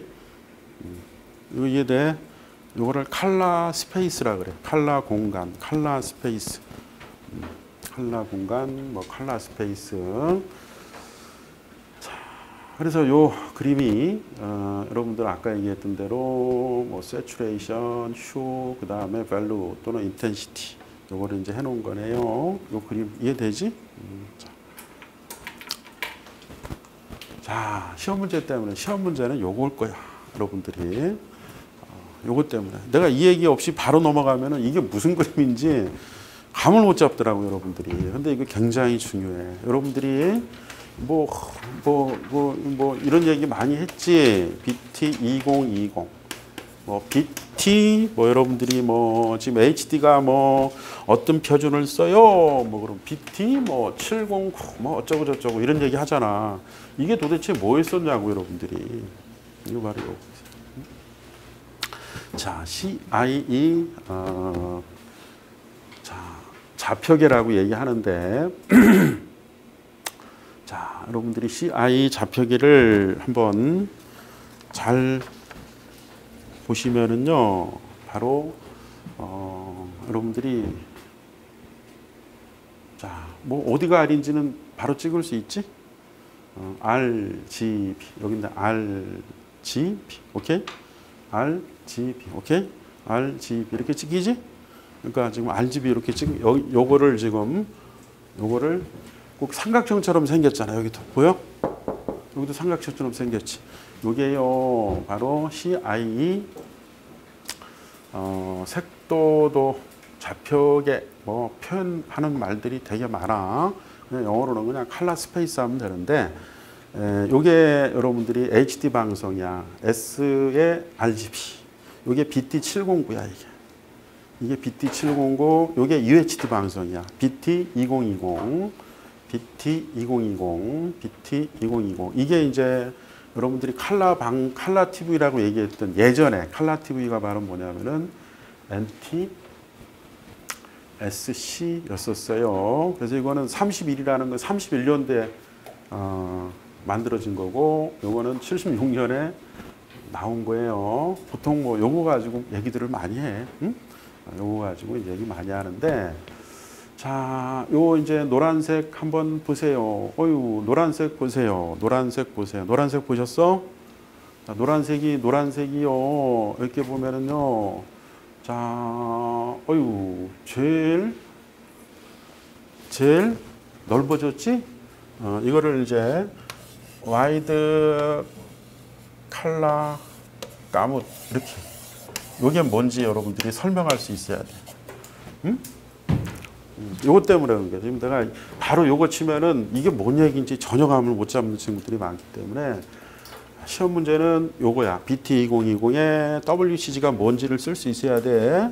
자, HDR, HFR, WCG 이건 UHD의 핵심 기술이야 여러분들이. 왜 UHD가 되는지를 알아야 되잖아. 자 그러면 이제 여기서 봐봐. 요 요 요 망태기 써오는 게 노란색 망태기가 제일 넓어? 어, HD가 뭐라고 S RGB BT 음, 709 음, 그 보면은 어유 얘얘얘 이거 별거 없죠 이게 되게 넓어요 자 음? 그 다음에 넓은 게 뭐야 DCI DCI가 바로 뭐냐면요. 영화 분야에서 많이 쓰는 거야. 영화. 시네마, 시네마. 응? 야, 걔보다 더 넓네. 그지? 어, 그 다음에 여기 아도베 RGB는 여러분들 뭐 이게 좀 뭐 아도베 그럼 뭐야? 응? 포토샵 맞아요? 포토샵 그럼 뭐야? 디자인, 응? 출판 뭐 이런 분야지? 이런 쪽에 쓰는 게 요거야. 응? 음. 이거 왜 나왔을까? 이게 문제가 있어서 나온 거야. sRGB가요. 여러분들 어, 뭐냐면은요. sRGB가요. 요 두 개를 구분을 못 하는 거야. 여러분들이 요 두 개가 잘 구분을 구분이 안 돼. 뭐하고 뭐가 그린하고 블루가 그래 가지고 어 이거 문제 있다. 그래서 그린 쪽을 더 확장시켰다. 이런 얘기가 나오죠. 그린 쪽을 더 확장을 시켰다. 이거 보세요. 여기 보세요. 여기 보세요. 여기 망태기를 잘 보는 거야. 음, 망태기를 잘 보면은요. 요거에서요. 여기는 별로 확장이 안 되는 이쪽으로 자꾸 확장이 되고 있는 거 보여? 어, 요게 바로 뭐냐면은 아도베 RGB라 그러는 거야. RGB. 음, 자, 그래서 어, 여러분들이 음, 자, 요거 이해되겠어? 저기 왜, 왜 삼각형인지. 자 여기서 나온 거야. 됐어? 삼각형인 이유는 여기서 나온 거야. 자그 다음에 요거 시험 문제야. 요거 설명해야 돼자 음, 그래서 여기 내가 요거 때문에. 아 도대체 gamut이라고 얘기하는 게 뭐예요? 이게 우리말로 번역을 한다면 색 재현율 정도로 번역을 할 수 있어요. 그래서 요 WC가 와이드 칼라 가무시라고 얘기하는 거. 면접 볼 때 잘 물어봐 WC가 뭔지 얘기해봐. 그러면은 말은 하는데 핵심이 빠져 있어. 뭐, 뭐 색의 영역이 되게 넓어지고요. 뭐. 음. 근데 이공계는 사례 중심으로 구체적으로 얘기를 해주는 게 좋아요. 퉁쳐서 얘기하지 말고. 음. 자, 그래서 가무시라고 얘기하는 거 얼마나 다양한 색을 표현할 수 있는가를 나타내는 규격 색 재현율이에요. 이게 굉장히 넓다는 거야. 그래서 WCG라고 얘기하는 그런 부분들이죠. 그래서 이제 여러분들 보면은 음? 자 BT 2020이 어, 여러분들 어, 이제 UHD 관련 디스플레이 쪽이라는 거 꼭 좀 기억을 하시고요.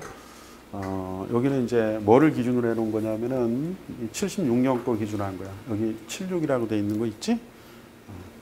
요거 기준에서 지금 데이터를 쫙 뽑아본 건데 자 이거 의미 없어요. 여러분들 뭐 미술 할 거 아니니까 우리한테 필요한 거는 WCG가 뭐다, UHD 표준이 뭐다, HD는 뭘 썼다, 뭐 흐름은 어떻게 갔다, 뭐 이런 정도만 여러분들이 아시면 돼요.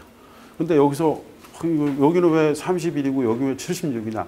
NTSC는 53년도에 나왔거든, 그러니까 76을 할 수가 없었던 거야. 오케이?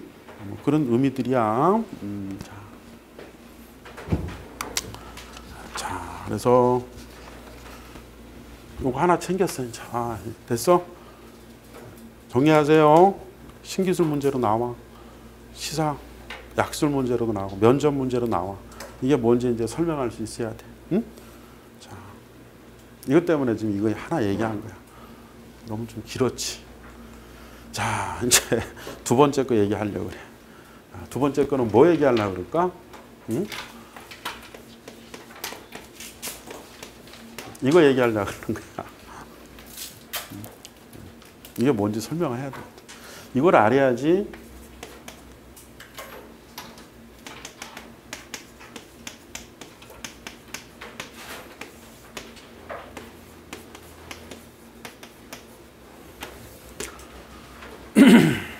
자, 지금 이것까지 나온 거 알고 있어요. 12가 뭔지 알지? 12기가. 어, SDI가 뭐냐? SDI가 뭐냐? 응? SDI가 뭐냐? 어, 이건 standard definition이네. 이거는 high definition이네. 이거는 3, 3기가 SDI네. SDI. SDI가 뭔지 알아야 돼. 한 문제 또 나와. BNC 커넥터라고 알지? BNC. 그래서 이제 커넥터가 여러분들 어떻게 생겼는지도 전혀 감이 없는 분들 때문에 여기 다 그냥 시중에 있는 거 어, 하나 그냥 찾아봤어. 어, 여러분들이 BNC라고 이렇게 된 거 많이 보셨지? 이렇게 따끄닥 하는 거 있잖아. 응? 이게 BNC라 그래, BNC. 그 다음에 여러분들 오디오 쪽에서 많이 쓰는 게요 XLR 같은 거, SPDIF 같은 거 이런 거 많이 쓰지 오디오 쪽에서 어, 이런 거 많이 쓰고요. 여러 USB는 뭐 여러분들 여기도 USB지? 어, USB. 어, 요 FireWire라고 얘기하는 거는 어, 요거 한번 시험에 나왔어. 여러분들 문제로 IEEE 1394라 그래. 저기 캠코더의 인터페이스로 많이 쓰이는 거야.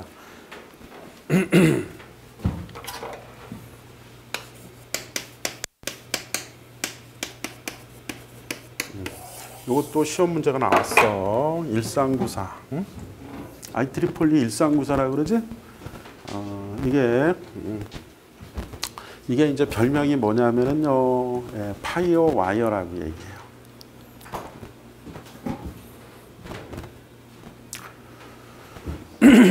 자.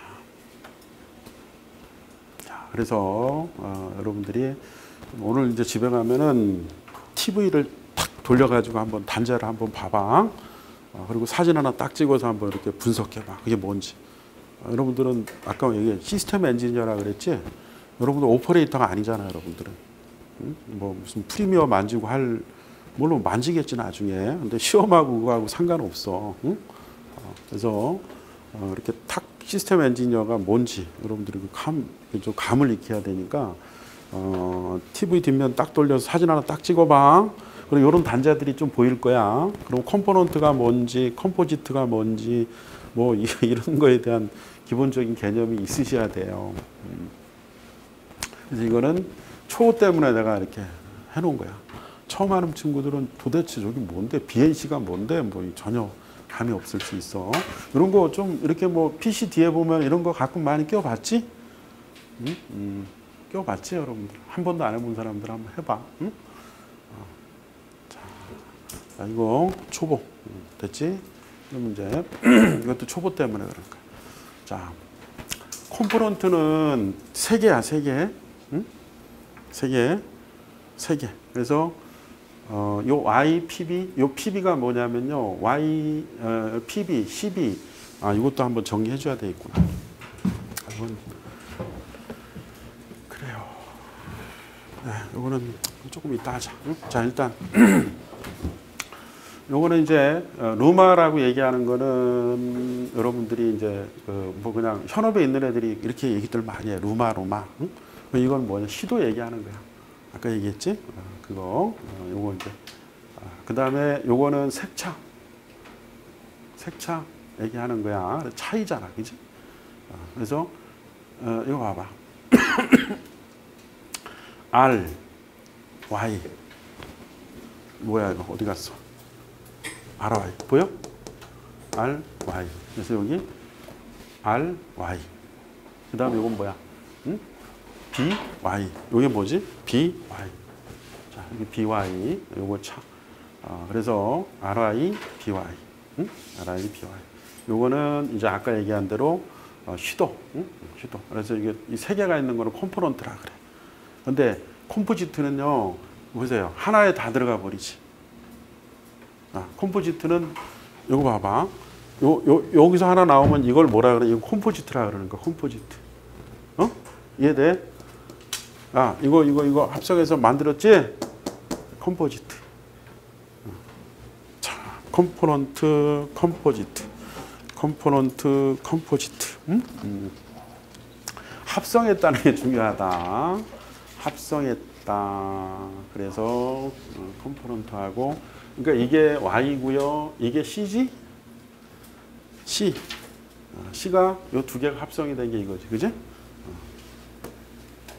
자, 그래서 예, 이제 음성은 이제 뭐 스테레오가 돼야 하니까 left right가 있어야 되겠지, 그지? 어, 이거 하나 빼면은 모노로 나오는 거 알지?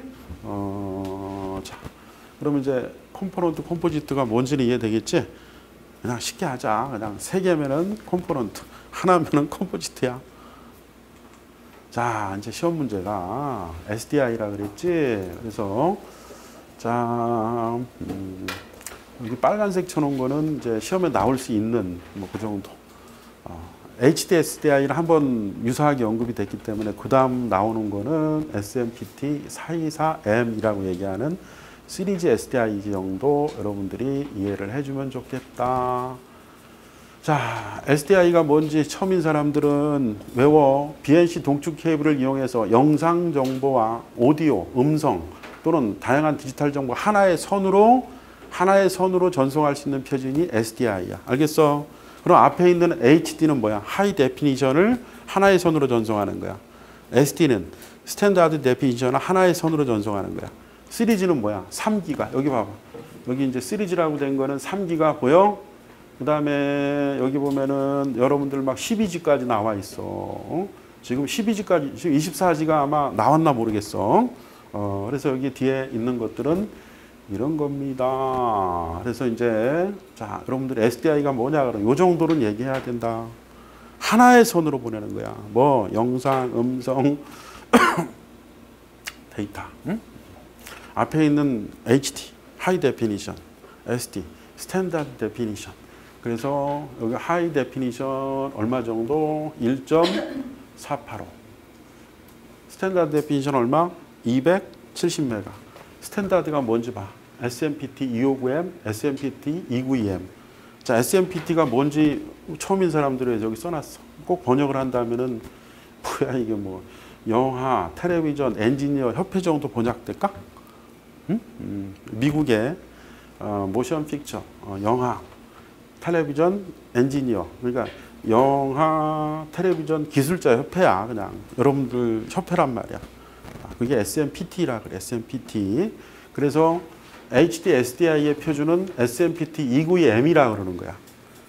SD SDI의 표준은 SMPTE 292 259M. 그래서 여러분들이 아셔야 되는 거는 259M 하나, 292M 하나, 그 다음에 요거 424M 하나 요 정도 알으면 된다. 어, 그래서 요 372M은 뭐 dual link야. 그러니까 HD 두 개 썼으니까 이거 곱하기 2의 속도가 나오니까 2.97 정도 나오지. 그러니까 얘는 이렇게 내선이 가는 거야. 내선. dual link니까. 오케이 돼? 어, 그런데 요 요거는 불편하니까 요걸 한 선으로 바꿔 버린 게 뭐냐면은 3G SDI야. 똑같아. 똑같으면 선이 하나가 바뀌어 버리는 거야. 아, 그 다음에 여기에 보면은 여러분들이 어, 1080 기억나지? 1080. 어, HD high definition이잖아. 그 다음에 여기에 480이라는 거 standard definition 얘기하는 거야. 어, 그래서 어, 이런 부분들 보시고 어, 초보를 위해서 여러분 뒷면에 한번 이런 사진들이 있을 거야, 그지? 여기 뭐라고 써 있어? SDI in out. 응? 음. SDI가 뭔지 알겠어? 음. SDI 돼. SDI.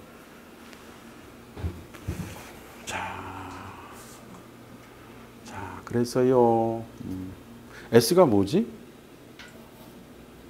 시리얼, 직렬, 병렬을 뭐라 그래? 페로렐. S는 시리얼. 어. 자, 뭐, 그 아래까지는 안 내려갈게. 자, 그래서, 어, 여기에 보면은 여러분들, 어, 자, 내가, 어, 요거는 이제 좀 공부 좀 하는, 여기 한번 배웠던 친구들은 내가 너무 쉽게 하면 또 안 나온단 말이야. 그 친구들은 뭔가 좀 배울 게 있어야 나오지. 응? 그래서 이거는 초보는 몰라도 돼. 응? 근데 공부한 친구들은 이 정도는 아셔야 되겠지. 응? 자, 자, 여기 봐봐. 음, 클락이 클락이요. 음, 클락이 27메가래요. 10비트 보낸대요. 그럼 이제 여러분들이 배웠을 공식이 있잖아. 여러분들이 배웠던 공식이 뭐지?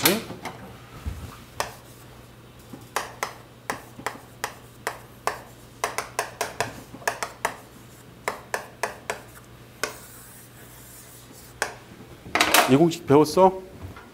RMB 공식. 자, 이거 몇 비트라고? 10비트. 이거 몇 메가야? 27메가. 곱하니까 270메가가 나오는 거.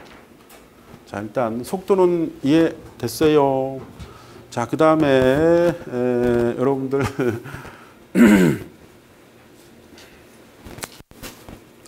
자, 보자. NRZ, NRZI 배웠나요?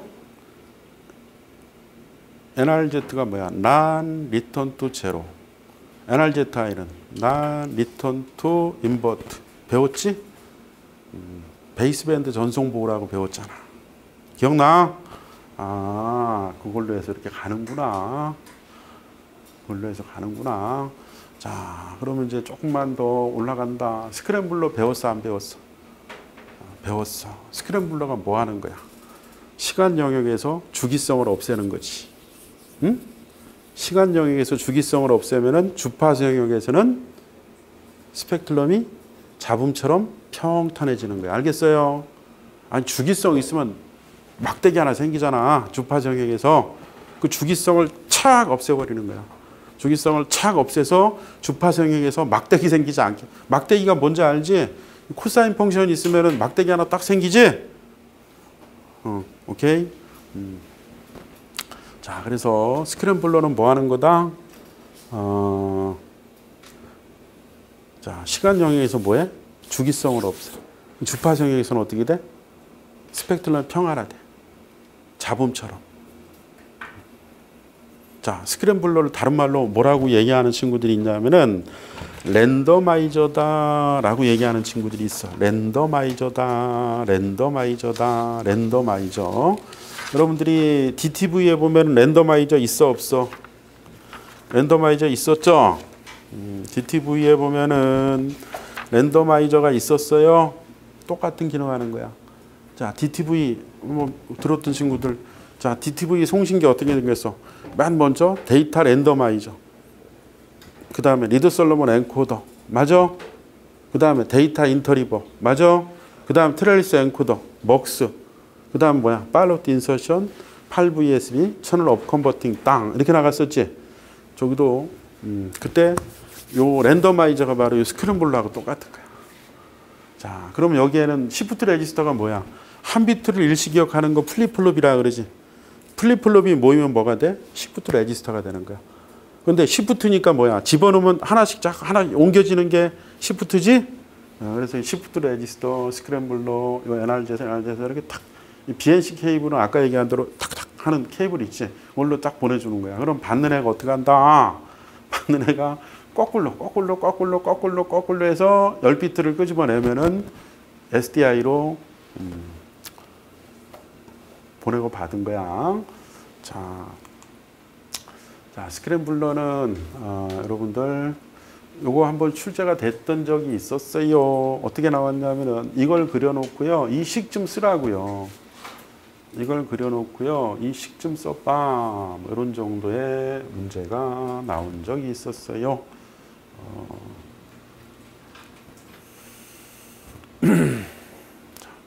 아, 이, 이건 아니었었어. 이건 아니. DTV에서 그런 문제가 나왔었어요. 그냥 어, 참고하시고 그냥 스크램블러가 뭐다 하는 거 정도 어, 개념 파악해 주시면 될 것 같고요.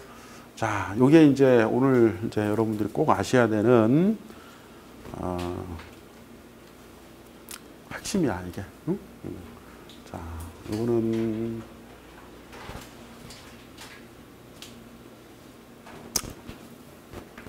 자, 이거 꼭 아셔야 된다. 자, 여러분들 위에 신호하고요, 밑에 신호하고부터 먼저 한번 찾아볼까? 자, 위에 신호는 아날로그예요. 아날로그, 아날로그 비디오 신호예요. 위에 신호는요. 어, 그 다음에 이거를 영일로 만들면 뭐라 그러지? 디지털 비디오 신호라고 하는 거야. 아날로그 디지털은 이해돼? 이거 뭐라 그런다? 아, 아, 아, 이거 아날로그야. 이걸 영일로 바꾸면 뭐라 그래? 디지털이라 그런다. 그러면은 이걸 뭐라 그러냐? 여러분들 보세요. 요거는 프레임이라고 들어봤지? 프레임? 음? 음, 그래서 여기가 시작이야. SAV는 Start of Active Video. 여기가 비디오의 시작이고요.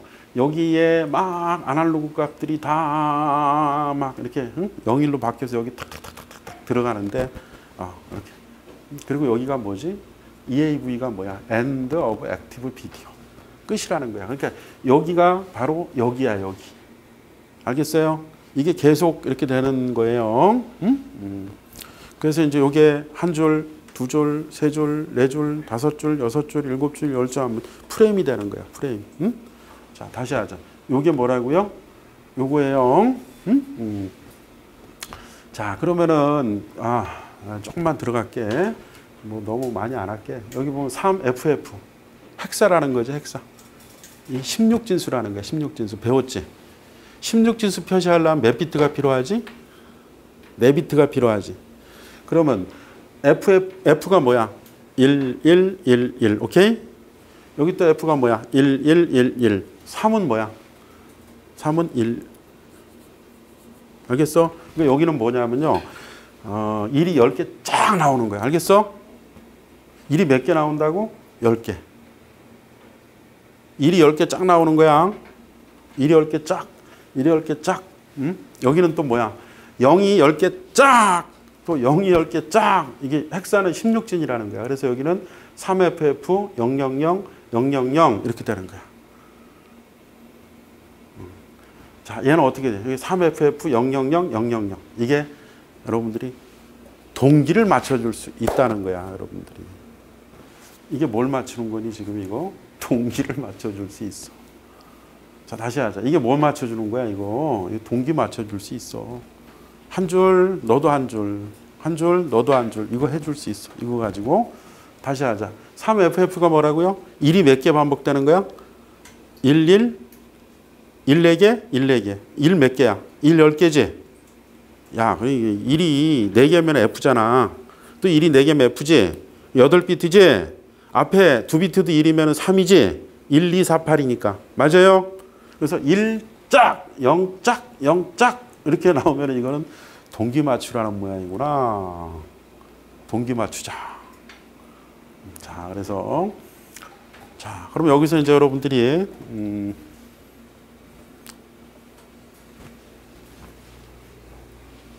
자, 전공한 친구들. SDI가 뭐지? 아까 SDI. 정의가 뭐야? SDI의 정의가. SDI 정의가 뭐야? 응? 이거 면접에서 물어본다니까? SDI가 뭐냐고. 핵심을 얘기해봐, 핵심. 퉁치지 말고. 잘 모르겠습니다. 핵심은 비디오, 오디오, 데이터를 하나의 손으로 보내는 거 아니야? 어? 네. 오케이? 음. 맞아? 어, 그러면 이제 캐션 생겼어. 비디오는 여기다 보내. 비디오 여기다 보내는 거 맞아? 오디오 어디다 보낼까? 하나의 선으로 보낸다면서? 응? 오디오 어디다 보낼까? 오디오를 여기다 보내는 거야. 알겠어? 보조 데이터라고 된 거 보여? 그래서 하나의 선으로 가는 거야. 자, SDI 준비하셔야 돼요. SDI가 뭔지 말로 할수 있어야 돼. 쓰는 건 당연히 뭐 하겠지만 말로 물어보면은 잘하는 친구도 잘 대답을 못 해요. SDI. 자, 다시 할까? 여기 써 있잖아. BNC 동축 케이블을 이용해서 영상 정보와 오디오, 다양한 디지털 정보를 하나의 선으로 전송할 수 있는 표준입니다. 하나의 선. 그럼 오디오 어디 들어가야 될 거 아니야? 응? 오디오가 어디 들어간다고? 여기 들어간단 말이야. 이게 무슨 작용한다고? 동기. 무슨 동기? 한 줄 맞추는 거. 한 줄 맞추는 거야. 한 줄 맞추는 걸 뭐라 그래? 수평 동기시로라 그래. 한 줄 맞춰야지. 아니, 봐봐. 송진수식 맞출 때 한 줄 짝, 두 줄 짝, 세 줄 짝. 맞아요? 이걸 뭐라 그래? 수평 동기시라 그러는 거야. 한 필드 맞추는 건 뭐라 그래? 수직 동기 신호. 한 필드. 한 필드 맞추는 건 수직 동기 신호. 한 줄 맞추는 건 수평 동기 신호. 동기를 맞춰야 돼요. 동기. 동기 안 맞으면 트랩이 안 나와. 치 이렇게 나온단 말이야. 응? 응. 자, 그래서 여러분들이 어, 여기 내가 음성을 동시에 전송할 수 있단 말이야. 브랭킹했다 뭘로 음성을 집어넣었어. 오케이? 이게 키야. 요거 꼭 알아야 돼. 아, 이거는 이제 어, 여러분들 어, 내가 그 저 카페에 올려놓은 거야. 내가 여기 좀 초보 때문에 아 초보는 이것도 컨셉이 없겠다 그래서 막 그냥 다시 넣은 거야. 응? 원래는 그냥 바로 그냥 본론으로 때리면 되는데 배려하자 그랬잖아.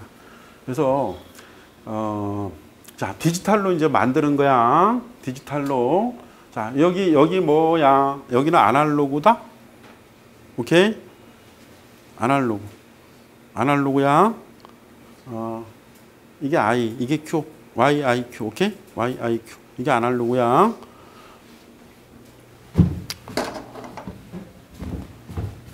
한번 여러분들이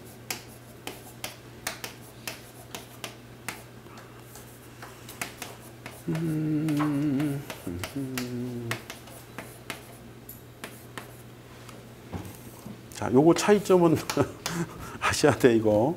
이건 NTSC야. 응? 이거는 팔하고 시캄이야. 어, 무슨 얘기냐면은 칼라 텔레비전 방식이 세 가지가 있었어요. 칼라 저기 아날로그 칼라 TV 방식이 세 가지가 있었어. 어, 우리나라는 어디 어떤 거 썼지? NTSC 썼지? 북한 애들 못 썼을까? 북한 애들은 팔 방식 썼어. 팔 PAL. PAL은 서구라파 애들이 쓰던 방식이었었어. 어, 서유럽, 서유럽. 응? 응. 그 다음에 시캄 방식이라고 해. 시캄. 시캄은 저 동유럽 쪽 있지. 소련 뭐 이 유시해 가지고 그렇게 세 가지 방식이 있었어요. 그러니까 우리나라나 일본이나 대만이나 미국이나 카나다나 뭐 이쪽은 다 NTSC 계열이었었고 저쪽에 뭐 저 서쪽 유럽 쪽은 팔. 그다음에 저 동굴아파 쪽은 시캄. 요 세 개가 있었어. 요게 바로 팔하고 시캄 애들이 썼던 YIQ야. 똑같은 거야. 이게 색차야. IQ가. 여기 봐봐. 색차를 IQ, 얘들은 UV. 자, 이게 있잖아. 똑같은 걸 가지고 이놈들은 자존심 싸움이 되게 강해 보면은 똑같은 거야, 똑같은 거. 그러니까 똑같은데 조금 조금 틀어버린 거야. 조금 조금 틀어버린 거야. 어. 하나만 있으면 참 좋은데, 그지? 음. 이것도 여러분들이 이거 차이점 알겠어? 이거는 아날로그 칼라 TV 시절에 어. 자, 그러면 이제 요게 남았지? 음, 요거는 뭐냐면은 어, 이거는 자, 요거는 여러분들이 이제 시험에 나올 수 있는 거니까요. 이거는 좀 알고 계셔야 돼요. 요거는요. 요거는요. 뭐냐? 음, 요거는 여러분 요건 많이 들어봤지? YCBCR, DTV 할 때. 응? 근데 이건 별로 안 들어봤지. 음, 요 오늘 그래서 이제 초보들은 일단 요거 보 이게 뭔지부터 한번 좀 여러분들이 컨셉을 잡아야 되는데 자, 자 이거 봐. 자, 여기는 아날로그야. 자, 여러분들 배운 게 뭐지? 표본화 양자와 보호하면은 PCM이라고 배웠어? 여기 디지털 맞아? 여기 디지털이지? 여기는 아날로그지? 음, 그 이제 자 봐봐. 표본화 양자 보호할 때 표본화 표본화할 때 여러분들이 샘플링 샘플링 주파수 굉장히 중요했지. 그래서 시험 문제가 맨날 나왔던 게 뭐 있었어? 샘플링 주파수하고 나이키스트 주파수하고 음.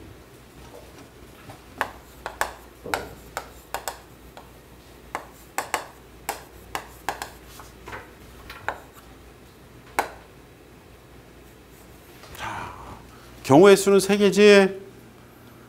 이게 뭐예요? 이거를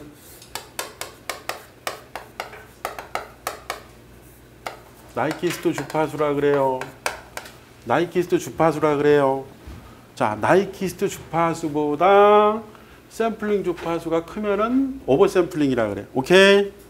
over sampling. 이건 뭐라 그래? 이건 나이키스트 샘플링이라 그래. 나이키스트 샘플링. 요건 뭐라 그러지? 스펙트럼 오버랩 되는 거 aliasing 시험에 나왔어요 여러분들 문제 이거 뭐라고요? 엘리어시 이렇게 되면 안 되지. 이렇게 되면 안 돼요. 이렇게 되면 안 되니까 여기서 여러분들 여기에 샘플링 되기 전에 음, 이 FM 음, FM 이하. FM 이하만 여기로 통과될 수 있는 필터를 써야 되는 거야. 만약에 이 필터를 쓰지 않으면요 FM이 순간적으로 넓어지면 이렇게 돼버리지. 여기 샘플링 주파수는 딱 조정 결정이 돼 있잖아. DTV는 48kHz라고. 맞아요? 못 바꾸지? 그러니까 만약 여기서 들어가는 주파수가 확 넓어지면은 그냥 aliasing이 돼버리는 거야. 맞아? 이렇게 안 되게끔 여기서 막아주는 역할을 해야 되는데 그게 뭐야? anti aliasing filter라고 하는 거야. 이해되겠어? 이게 다 시험 문제야 지금 여러분들. over sampling 나이키스트 샘플링, aliasing 주관식 문제로 25점짜리였었어. 이거 스펙트럼 그리고 설명하는 거 있었어. 알면 되게 쉬운데 모르면 손 못 대. 자, 그래서 자 여기 봐. 음, 음 그래서요 이런 이런 부분들이요. 이런 부분들이 여기 붙어 있다는 거야. 엘리어싱 안 되게 하려고. 어, 그러면 이게 디지털로 바뀌었다는 건 이해돼? 자, 그럼 내가 이제 용어 정의해 줄게. 바뀌기 전에는 Y, PB, PR. 됐어? 바뀐 다음에 뭐라 그래? Y, CB, CR. 정리돼? 음, 좀 어렵나? 음. 처음에는 그래요. 어, 그 내 강의가 그 초보도 다 이해를 해. 근데 두 번 정도 들으면 이해를 해. 아, 근데 내 강의가 이렇게 아주 쉽다거나 그렇지는 않은 것 같아. 그러니까 좀 어렵다고 하는 분들이 있는 걸 이해를 하는데 어렵게 얘기하는 게 아니야, 여러분들. 응? 자, 이게 뭔지는 이해됐지? 여기 뭐라고요? 아날로그. 여기 뭐라고요? 디지털. 이름을 붙여줘야 될 거 아니야. 여기는 뭐라 그래? Y, PB, PR. 여기는 뭐라 그래? Y, CB, CR. 됐어? 음. YUB가 뭐냐? 그거는 이제 진영 논리야. 그냥. 응? 자, 오케이. 자, 그러면은, 음. 아, 이거는 이제 좀 학교에서 공부 좀 한 친구들이 있어요. 여기 뭐 대학원도 막 보니까 뭐, 막 이쪽 전공하고 한 친구들은 다 아는데요. 그런 친구들이 있어. 아니야. 끝이 없어요. 하려고 그러면 여러분들. 응? 음. 그래서, 음, 여기 이제 뭐 그 친구들 용이야. 여러분들 시험 문제 아니야. 응? 음, 참고하라고 이제 매핑 어떻게 할 건지. 자, 하나만 예를 한번 들어볼까? 에, 여러분들이 이제 1080 한번 볼까? 1080의 인터레이스 방식이 요거예요. 요거. 요거. 그러면은 여기에 보면은 SAV, EAV가 이, 이렇게 있지? 여기에 뭐 다른 거 여러분들이 9, F, V, H 뭐 되게 많은데 시험이 아니라 그랬어 내가. 그러니까 신경 쓰지 말고 어, 이건 나중에 코딩이라든가 뭐 이쪽에 뭐 전문적인 뭐, 뭐 그런 친구들 아니면 할 필요 없어. 응? 응. 여기 보면은 자, 요게 F0, 요게 F1. 여기가 이제 V1, 뭐 V0, 음. 여기 H1, H0 에서 여기 F, V, H 있나요? 요, 요, 여기 비트 이렇게 이렇게 해주는 거야. 아, 그래서 여러분들 시스템 엔지니어이기 때문에 나중에 있잖아. 어, 여러분들이 뭐 재난 방송 같은 거 할 때 ATS 3.0에서 어떤 비트를 어떻게 바꾸면은 어 그냥 깨었던 애들이 다 일으키고 막 그런 것도 알아야 되기 때문에 아, 이런 거는 좀 그런 거고 시험에 안 나와요. 단지 이쪽이 조금 관심 있는 친구들은 별것도 없어 이렇게 보면은 처음에만 그냥 뭐 있어 보이는데 나중에 하나도 할 거 없어. 자 음, 여기 봐봐. 음, 자 SAV가 뭐라고요? 음, Start. 하고 Active Video. 여기 비디오의 시작이야. 그지? 그럼 끝나는 게 뭐야? EAV로 끝나지? 그 다음에 여기 이제 요, 여기를 뭐라 그러니? 여기가 blanking인데, 예, 요 기간에 음성을 집어넣을 수 있다는 말이야. 어? 오케이? 어. 음. 자, 다시, 어, 여기서 이제 두 번째 필드 쫙 가는 거야. 응? 그래서 여기 보면은 SAV, 뭐, EAV 있고, 쫙쫙쫙쫙 있고, 뭐, 이런 부분들이 어, mapping하는 방법들이야. 그러니까 이쪽이 좀 시험 문제 안 나온다고 얘기했고 아주 좀 레벨이 up된 친구들 한번 봐봐. 이렇게 해서 이제 mapping 한다는 거야. 응? 신경 안 써도 돼. 응? 자, 자, 이제 여러분들은 이제 이게 시험에 나올 거란 말이야. 응?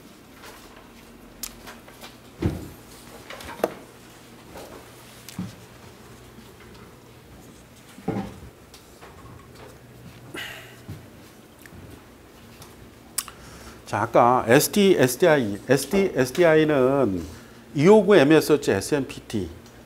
어, 얘는 292M이야. HD-SDI standard 표준은 어, standard 표준은 그래서 어, 뭐냐 그랬대 여기는 동축뿐만 아니라 광까지 비압축 압축 안 하는 거야 압축 안 하는 거야 응?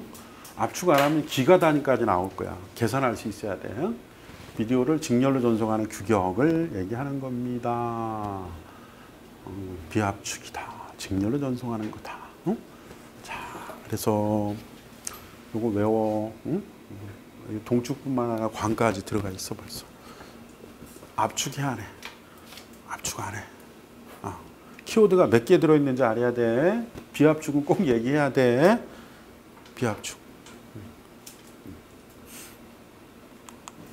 자, 이 정도 그림은 뭐 여러분들 전혀 어렵지 않다. 보자 어떻게 할 거냐. 자, 잘 봐. 음, 이거는 압축하는 거다. 이건 압축하지 않는 거다. 응? 이건 뭐라고? 압축. 이건 뭐라고? 압축하지 않는 거야. 압축하니까 얼마가 됐어? 음. 자, 압축 안 하니까 얼마 됐어? 기가, 배가, 어유 엄청 차이가 있네. 자, 압축한 거를 SD, I가 아니고 뭐라 그러지? SD, T, T, T는 트랜스포트야. 자, 여러분들이 DTV에서는 TS라 그런 거 기억나니? transport stream이었었지.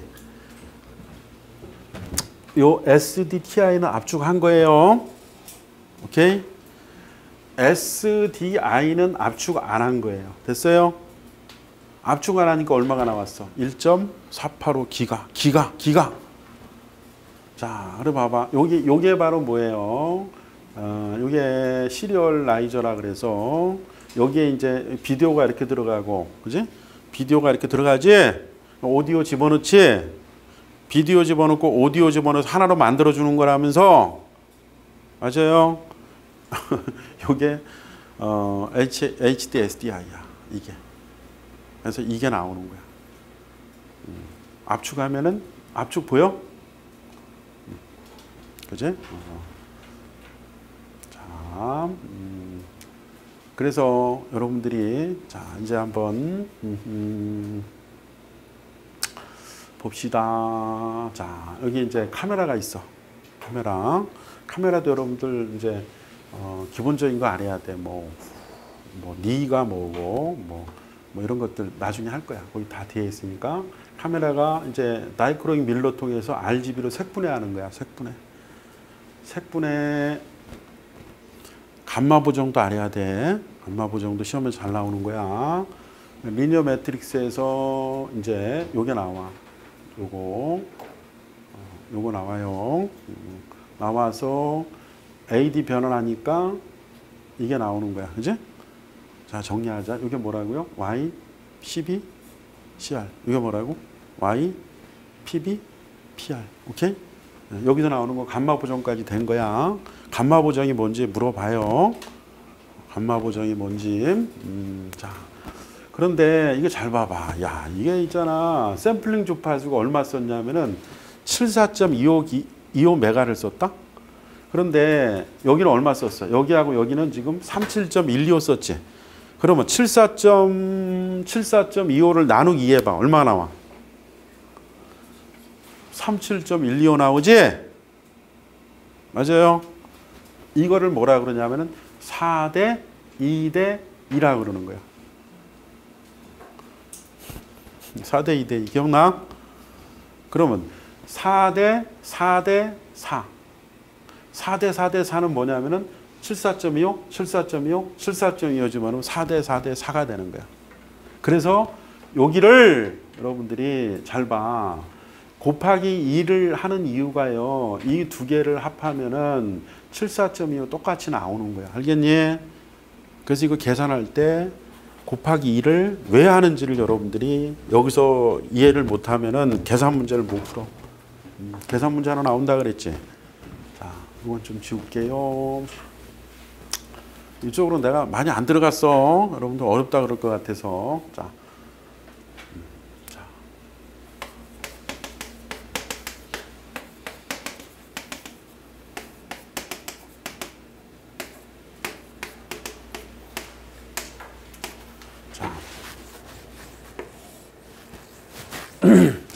여러분들이 자, 한번 해봐. 응? 아, 이거를 sub sampling이라 그런다. 이거를 sub sampling이라 그래요. 자, 이걸 뭐라 그런다? sub sampling이라 그래. 자, 다시 표본화 양자화 부호화 맞아요? 표본화 양자화 부호화 이거 지울게요. 표본화 양자화 부호화. 그러면은 여러분들이 어,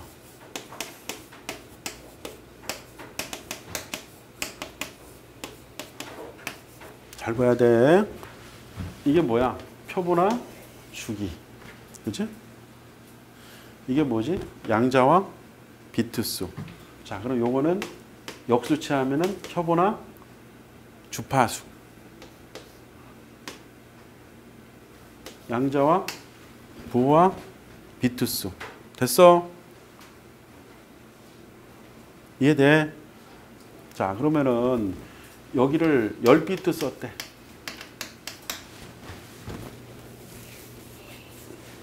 자, 계산기 가져왔나?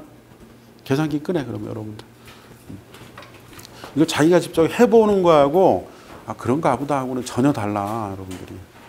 이 시험 문제 나왔어. 한 번 나온 게 아니야, 이게. 내가 기억하기에 세번 정도 나왔어. 여러분, 이거 다출 문제야.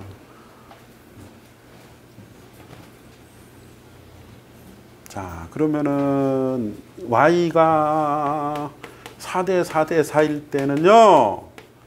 잘 들어요. 어?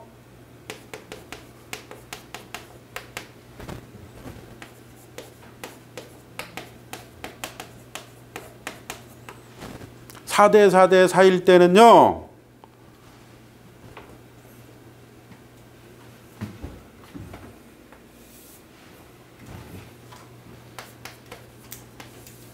이거지?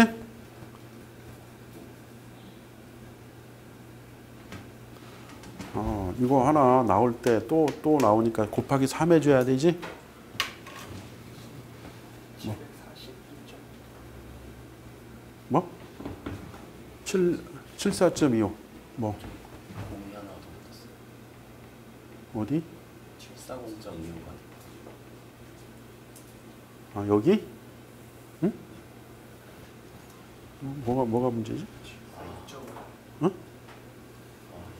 10 곱했잖아. 70, 그럼 742.5가 되는 거. 아, 아이, 미안해. 아, 정신이 없다, 지금. 742점? 어, 그래, 그래. 아, 미안해. 742.5. 어, 난 또 뭔 얘기 하나 그랬어. 어. 자, 이렇게 되지? 음, 미안해요. 제가 지금. 나는 되게 쉽다고 생각해 신경을 안 쓰는데 처음 하는 친구는 이게 어렵다고 그러더라고요. 그래서 자, 여기 곱하기 10에서 이렇게 자리 하나 올라간 거야. 자, 그러면 이게 3개니까 3을 곱했지? 자, 그런데 이건 어떻게 할 건지 한번 생각해 봐. 응? 이건 어떻게 돼야 돼? 모르겠어요. 그럼 다 계산해. 야, 너 이거 하나 나왔지? 에다가 또, 또 뭐야? 어, 이거 절반으로 하면은, 응? 어, 4대 2, 로 하는 거니까, 이거 절반이니까 37.125. 37.125 메가 헬츠 곱하기 10비트. 음. 그럼 371.25 메가 bps. 그 다음에 또 37.125 메가헬츠 집중하자. 음, 음. 371.25 메가 bps. 어, 요거 더하는 거지? 이거 더하면은 1.485. 음? 음. 자, 1.485. 음. 이렇게 나와요. 이거 두 개 하면 얼마야? 얘랑 같이? 어? 74 2.5 곱하기 하면 이거 나와? 그러면 이렇게 하나 하나 하나 이렇게 계산해도 아무 상관없어 여러분들. 알겠어요? 답만 맞으면 되는 거야. 근데 저기는 왜 곱하기 2 했냐면은 이거 두 개를 묶어버린 거야. 되겠어? 그러면 만약에 이거 계산하라 그러면은 자 여기 돼? 안 하면 되지? 이거 하나 하나 하나 됐어? 이거하고 이거는 속도가 똑같이 나올 것 같아. 그지? 어, 이게 뭐냐면은 이게 스튜디오 환경에 쓰는 거고요. 이게 여러분들 지금 집에서 볼 때 쓰는 환경이야. 요거는 이제 의료용 같은 거 아주 뭐 암 찾고 그럴 때 있지? 그때 쓰는 게 4대 4대 4. 거의 뭐 쓰는 일이 없지. 자, 그러면 이제 요게 나왔을 때 여러분들 계산 문제는 뭐 이렇게 하나, 하나, 하나 이렇게 해도 돼. 여기가 샘플링 주파수지? 음, 음, 샘플링 주파수의 여기는 절반인데 여기는 절반의 절반의 절반 4분의 1이지 4분의 1 이렇게 해서 계산하면은 이거 이렇게 더해주면은 여러분들이 원하는 결과 나와요 됐어요 그러니까 자신 없는 친구는 뭐 이거 이거 이렇게 묶는다고 생각하지 말고 하나씩 빼 하나씩 빼 하나씩 빼서 여기 더해 주면 돼 됐어? 4대 4대 4, 4대 2대 2, 4대 2대 0, 4대 1대 1 뭐가 나와도 이제 아무 문제 없지 근데 초보가 제일 어렵게 생각하는 게 왜 여기를 묶었어요? 아니 계산의 편의성 때문에 묶은 거지 뭐 이거 같잖아. 같으니까 묶어서 퉁친 거란 말이야. 그러니까 잘 모르겠으면 묶지 마. 그냥 하나씩 뽑아서 이렇게 합하면 되는 거야. 자 그러면은 이제 외우셔야 될 게 나왔다. 이게 74.25는 좀 외워줬으면 좋겠어. 응?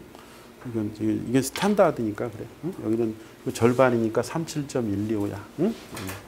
그리고 이제 압축을 해서 만든 걸 뭐라 그러냐? SDTI라 그런다. 어, 압축하지 않은 거는 SDI야.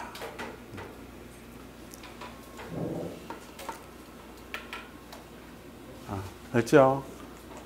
자, 이제 그래서 초보 때문에 이제 훈련을 좀 시켜놓은 거야. 이거는 아, 그림이 멋있지. 어, 카메라도 멋있고. 그래서 여기 보면은 어, 여기 봐봐. 이제 YPBPR이 어디에 있고 YCBCR이 어디 있는지 이제 이해되니? 음, 자, 요게 이제 이게 이게 뭐지? 이게 엔티 엘리어싱 필터라는 얘기야. 오케이. 어, 요 AD는 표본화 양자 모아, 표본화 양자 모아, 표본화 양자 모아 10비트씩 썼다. 이런 얘기지. 됐지? 뭐 어려운 거 아니에요. 별로 어렵지 않습니다. 굉장히 쉬워요. 음. 음. 자, 그래서 요 HD 요거 하나 정도는 좀 외웠으면 좋겠어. 74.25 메가. 어.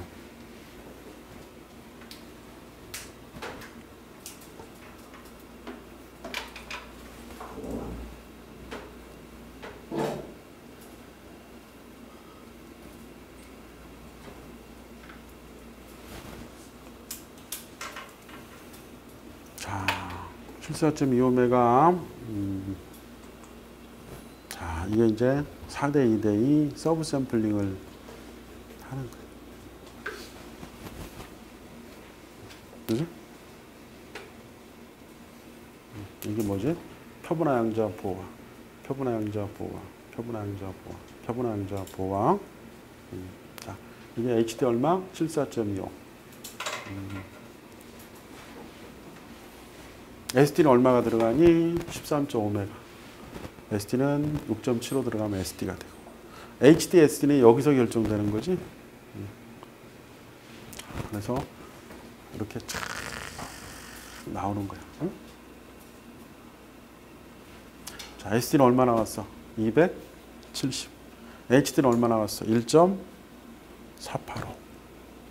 오케이? 됐어. 음, 자, 이거 이제 훈련을 좀 해야 돼요, 여러분들. 헤드룸이 뭔지, 그런 거에 대해서. 자, 부담 갖지 마시고요. 그냥 편하게 보시면 돼요. 어. 자, 여러분들이, 어, 자, 이게 시도신호 양자화 했는데요. 자, 여기 헥사라고 된 거는 16진 얘기하는 거야. 음, 자, 16진으로 여러분들이 어, 돼 있는 부분을 한번 잘 봐봐요. 여기에 보면은 3FF 000 쓰면 돼, 안 돼? 안 돼. 아까 했잖아. 3FF 000 000 어디 썼어? 동기 쪽에 썼잖아. 여기서 쓰면 절대 안 돼요. 어, 그러면 얘들이 실제 쓸 수 있는 영역은 어디서부터 어디까지입니까? 하는 얘기를 좀 보자고요. 자, 어디서부터 어디까지냐? 자, 그래서 16진으로 여러분들이 좀 보는 연습을 좀 하시면 좋겠어요. 16진. 004에서부터 004. 응? 004에서부터 시작해서 3FB까지 여기까지. 음, 여기까지. 음. 그래서 여기서 용어 하나 이제 좀 새롭게 또 나온다. peak white level. 이게 제일 높은 게 white지? 제일 낮은 건 뭐야, 그럼 아까? blanking 또는 black 이렇게 얘기하는 거야. 같은 의미야. 어, 그, 그, 요 갭이 있어요. 그 갭을 headroom이라 그래요. headroom, headroom이다. 라고 얘기를 합니다. 그래서 총, 이게 10비트니까 10비트가 만들 수 있는 건 10 이상가요? 그 중에서 위에 것 좀 몇 개 빼고 밑에 거몇개 빼니까 몇 개가 빠지냐면은, 음, 음, 1024에서 빼면은 1016까지, 어, 로마 레벨을, 어, 이렇게 바꿔주는 거. 헥사로. 헥사로. 응? 헥사로. 자, 헥사로 바꿔준다. 자, 그러면은 이제 요거를, 음? 아날로그일 때 레벨은 어떻게 되는지 알아? 0볼트에서 800mV까지야. 1볼트가 안 되는 거야. 1볼트 안 되는 거를 이렇게 바꿔버린 거야. 응? 800mV니까 1볼트 안 되는 거야. 아날로그일 때 이렇게 10비트로 바꿔주는 거야. 10비트로. 10비트로 바꾼다. 10비트로 바꾼다. 헥사는 16진수 얘기한다. 아, 이거고요. 그 다음에 이제 12를 양자화 하면은요. 12도 여기 한번 따져봐. 0을 중심으로 해서 여기까지 올라가 여기까지 800mV 맞아?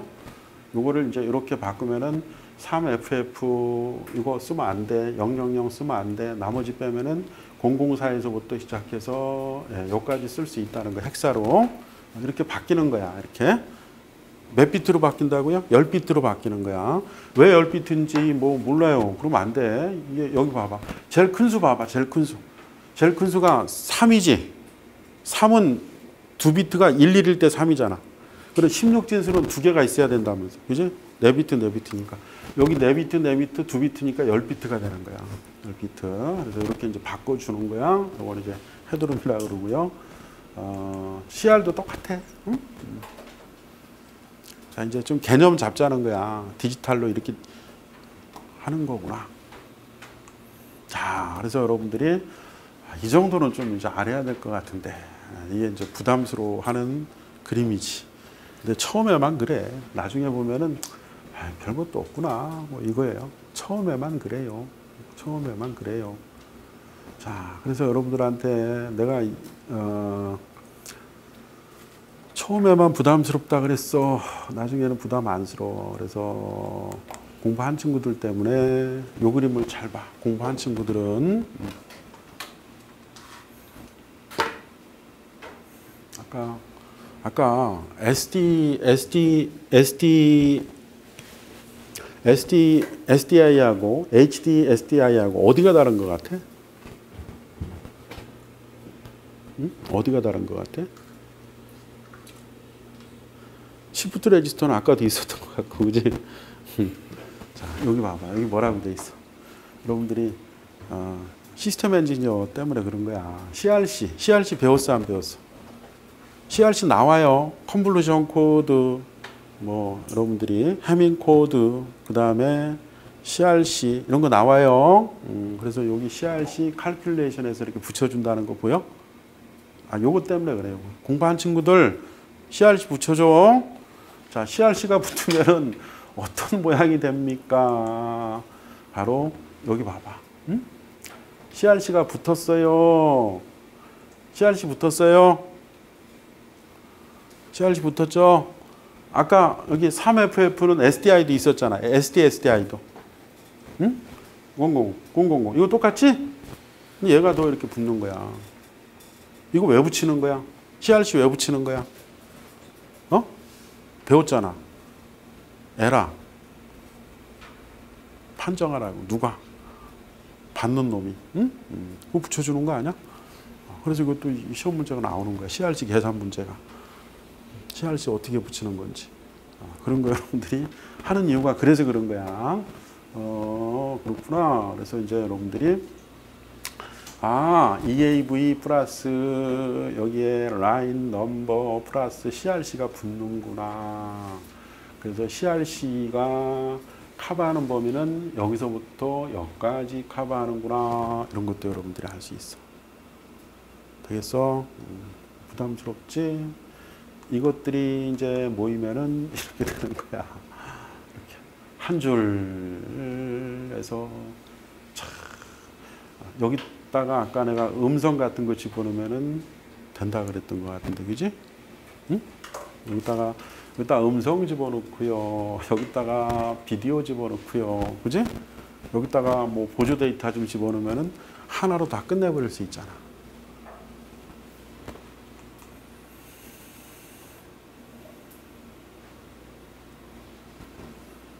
되겠어? 여기 있네. 응?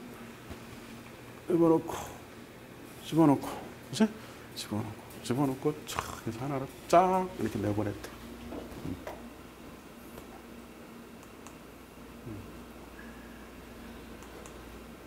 그래서 이런 모양이 되는 거야.